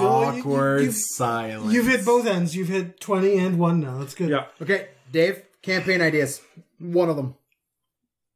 You already told us your dragon turtle. I know. I like it. Just it. it I, I, I, I'm having a hard time zeroing in on one thing. This floating tower of Aarakocras, or floating city, or not floating, but like high up city. Yeah. Like that. That has so much potential. Like there, there's so much there. The They have, by the way, the leader of the Aarakocra is this ancient Aarakocra that they just call Teacher, who inside the book is described as old, gentle, and extremely manipulative. And you just go, that's a twist. I feel like he's Master Splinter. yeah. You don't want to go for nanny poo poo. You don't want to. Dave, but what are you doing with that? What are you doing with the Aarakocra? I don't know. Maybe maybe they've come under attack. Maybe everything's figured out how to get up there. Maybe the the dragon heart has floated, or not the dragon, the dinosaur god heart has floated over there and unleashed hell upon their city. Like may, maybe maybe there's A war with the Pterafolk? e- yeah Oh, that would be cool. yeah like there's there's there's there, there's something there. Like there's a lot there, but I just uh, I don't know. I'm on the spot. I can't. I, uh, my idea for my for my long term campaign evolves around the city of Mezro, which was that city of immortals. I want to know why the immortals are gone, why the city was destroyed, um, and where just what happened there. And I'm building the entire campaign around this. Um, because there is a lot of meat and potatoes there that you could build the entire campaign, long term, one to twenty campaign, discovering a city that is just gone. Yeah, no, that that's cool. I like that. That's really common for Forgotten Realms as well because it is all it's called the Forgotten Realms because there are ruins everywhere and long There were realms that were forgotten. Yeah, yeah. So Yeah. um yeah, no, I'm going back to my mapping chult. I want to do that hex by hex. Map as much as you can before your guys are just like, I'm done with this. Let's play. Let's play Curse of Strahd, right? I like get into it, and maybe you can come back to it with new characters later once it's been discovered. But the idea is there are so many savage tribes and weird peoples and whatnot. Bring them into the fold. This is your Galactic Federation of Planets. Bring them into the fold or eradicate them. One or the other. Right? And that that is what your guild says, right? They can join society and civilization, or they can be pushed back because we're taking Chult. And I think that depending on your players, that could be radically different experience every time they build a new campaign. Every time that like you know, they, they uncover, I don't know, 20% of the hexes and then they want to go on and play something else. They will come back later with brand new characters and 20 years have passed and so on and so forth. And we want another forward push. Yeah. Let's manifest some destiny. Oof. Yeah. but no, but that would be the campaign, right? Like Yeah. you have to really fight with that. Are you, are we the baddies? Right? Like really think about that. And I would play that as a DM too. I would have like, these are our homelands. This was a sacred burial ground that you're putting up a mini mall in. Right? Oh. Like, I'm not kidding. I would hit my party with that and watch them sit there and squirm at the table. Yeah. So that is my campaign. How, how, how to how to bring an imperialism and colonialism into your Dungeons and Dragons campaigns 101 with Adam. Well, hold on. And Terry. He's got to be a Oh yeah, of he's it. got to be involved in that. Naturally. All right.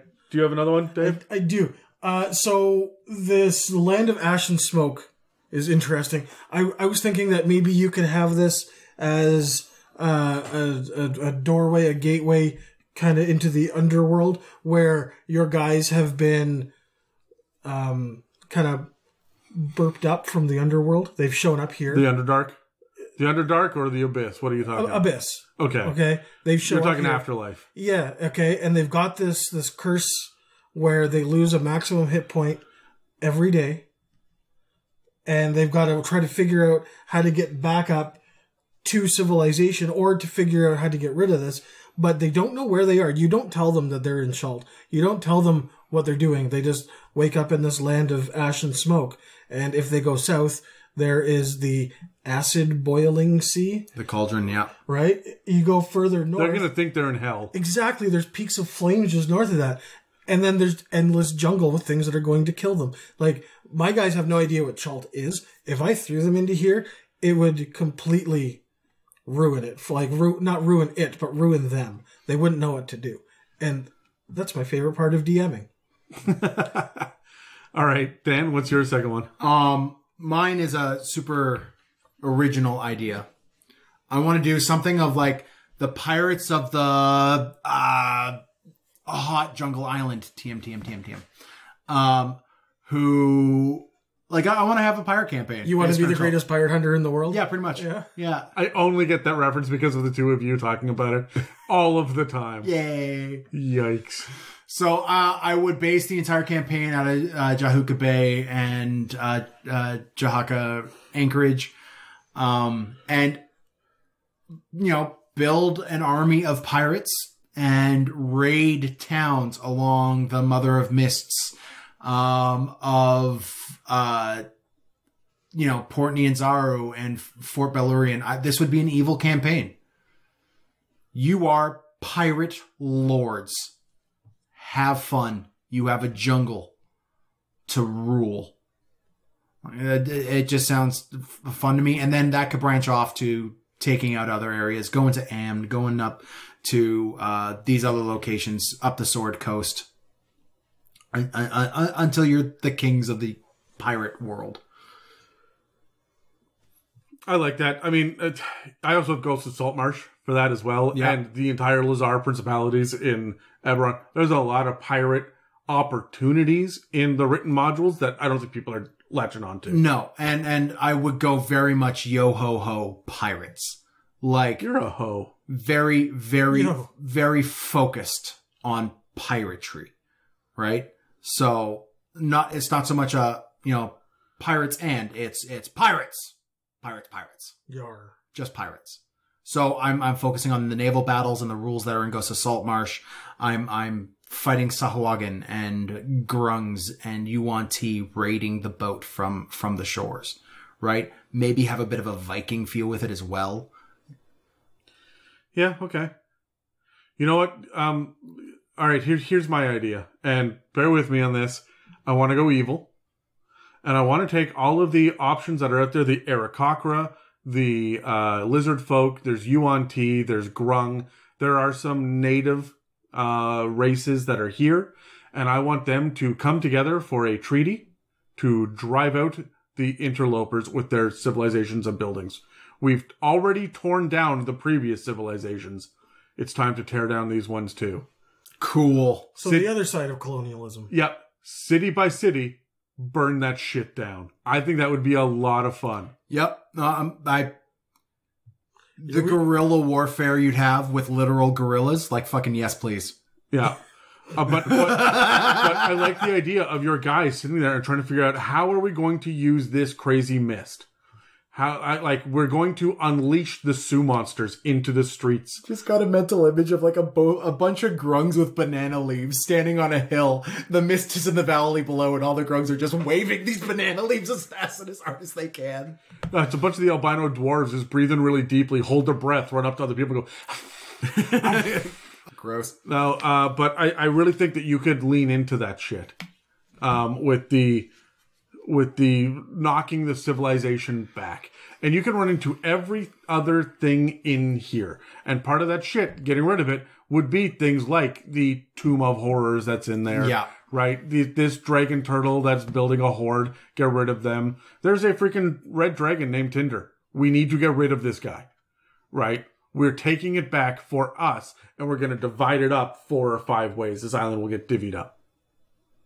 Didn't Terry have an animal companion named Tinder in our in our Tuesday group? Yes, he did. What was it? Um, it was a vulture. That's what it was. Because he was an evil druid. And he had a vulture named Tinder. I don't think it was a vulture. It was it, it was it was a bird. Anyways, you're close enough. Yeah, it was, uh, was it an owl? It was something, but it was evil. It was an evil bird named Tinder. So it was a seagull. Canadian goose. Oh, should have been. yeah, yeah, right. All right. Well, anyways, guys, that's it for this week's episode on Schultz. Uh, you can find us on iTunes, Spotify, and YouTube, as well as other, as well as dozens of other podcast apps. You could also find us at www.itsamimic.com or email us at info at itsamimic.com. Thanks for listening to the It's a Mimic podcast, and make sure to check us out next week when we're covering humans. You've reached the end of another episode of the It's a Mimic podcast. Connect with us at itsamimic.com. Don't forget to subscribe and hit those share buttons. Thanks for listening, and see you next week.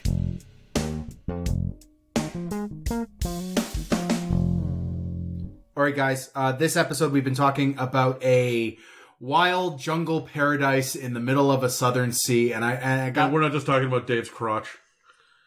Is, yeah, yeah. No, you're right. Yeah. no crotch should ever be called a wild jungle paradise. I can take my pants off, Dan. No, no, please leave them on. I just. Oh, I'm pretty sure I have a warrior's mane. so, what kind of vacations do you guys want to do? One far away. from here? Whatever gets me away from you, fucktards. Um. So yeah. Uh. Just I wanted to know what.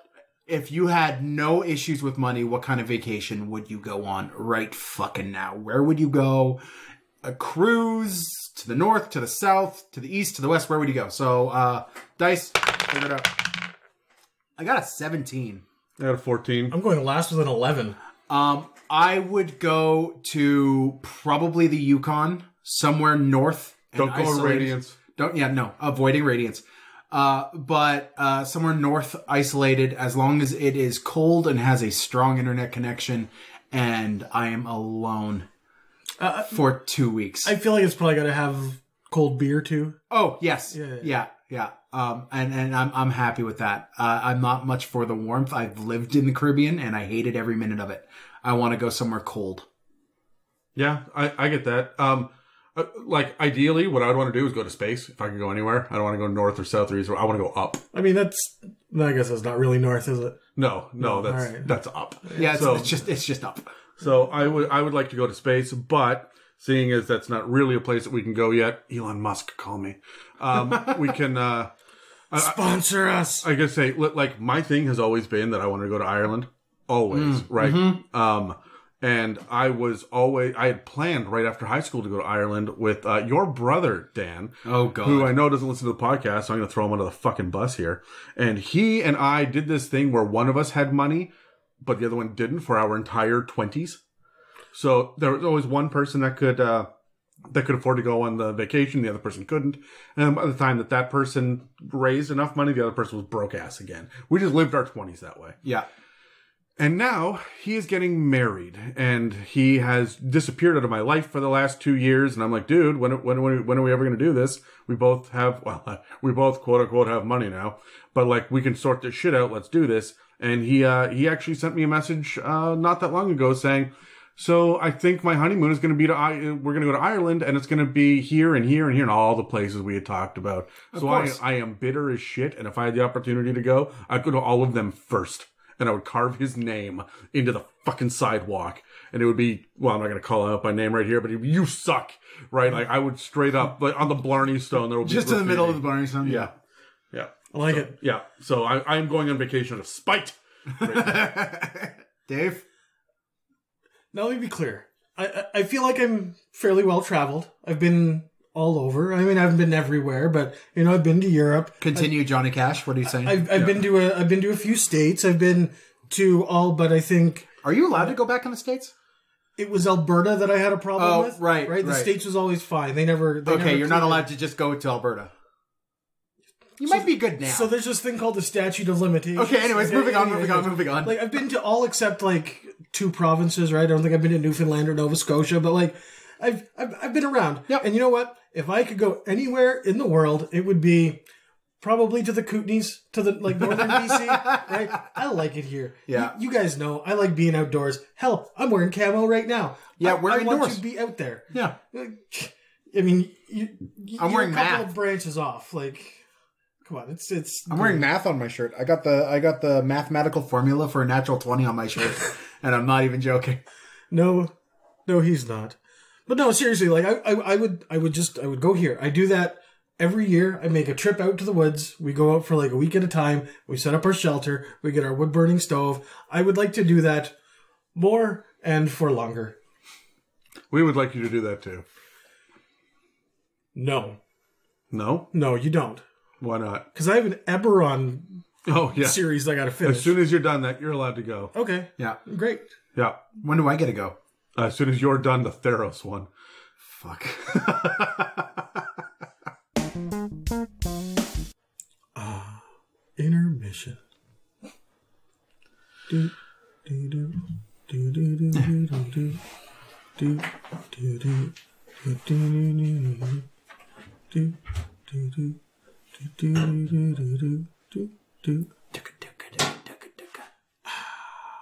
intermission. Do do do do do do do do do. I'm hanging out too much. A little bit. Clinky. Uh, that is very hot. No, it isn't. Oh yeah, it is. Oh, yeah. Oh yeah. Oh, yeah. Don't you? Oh yeah, don't you?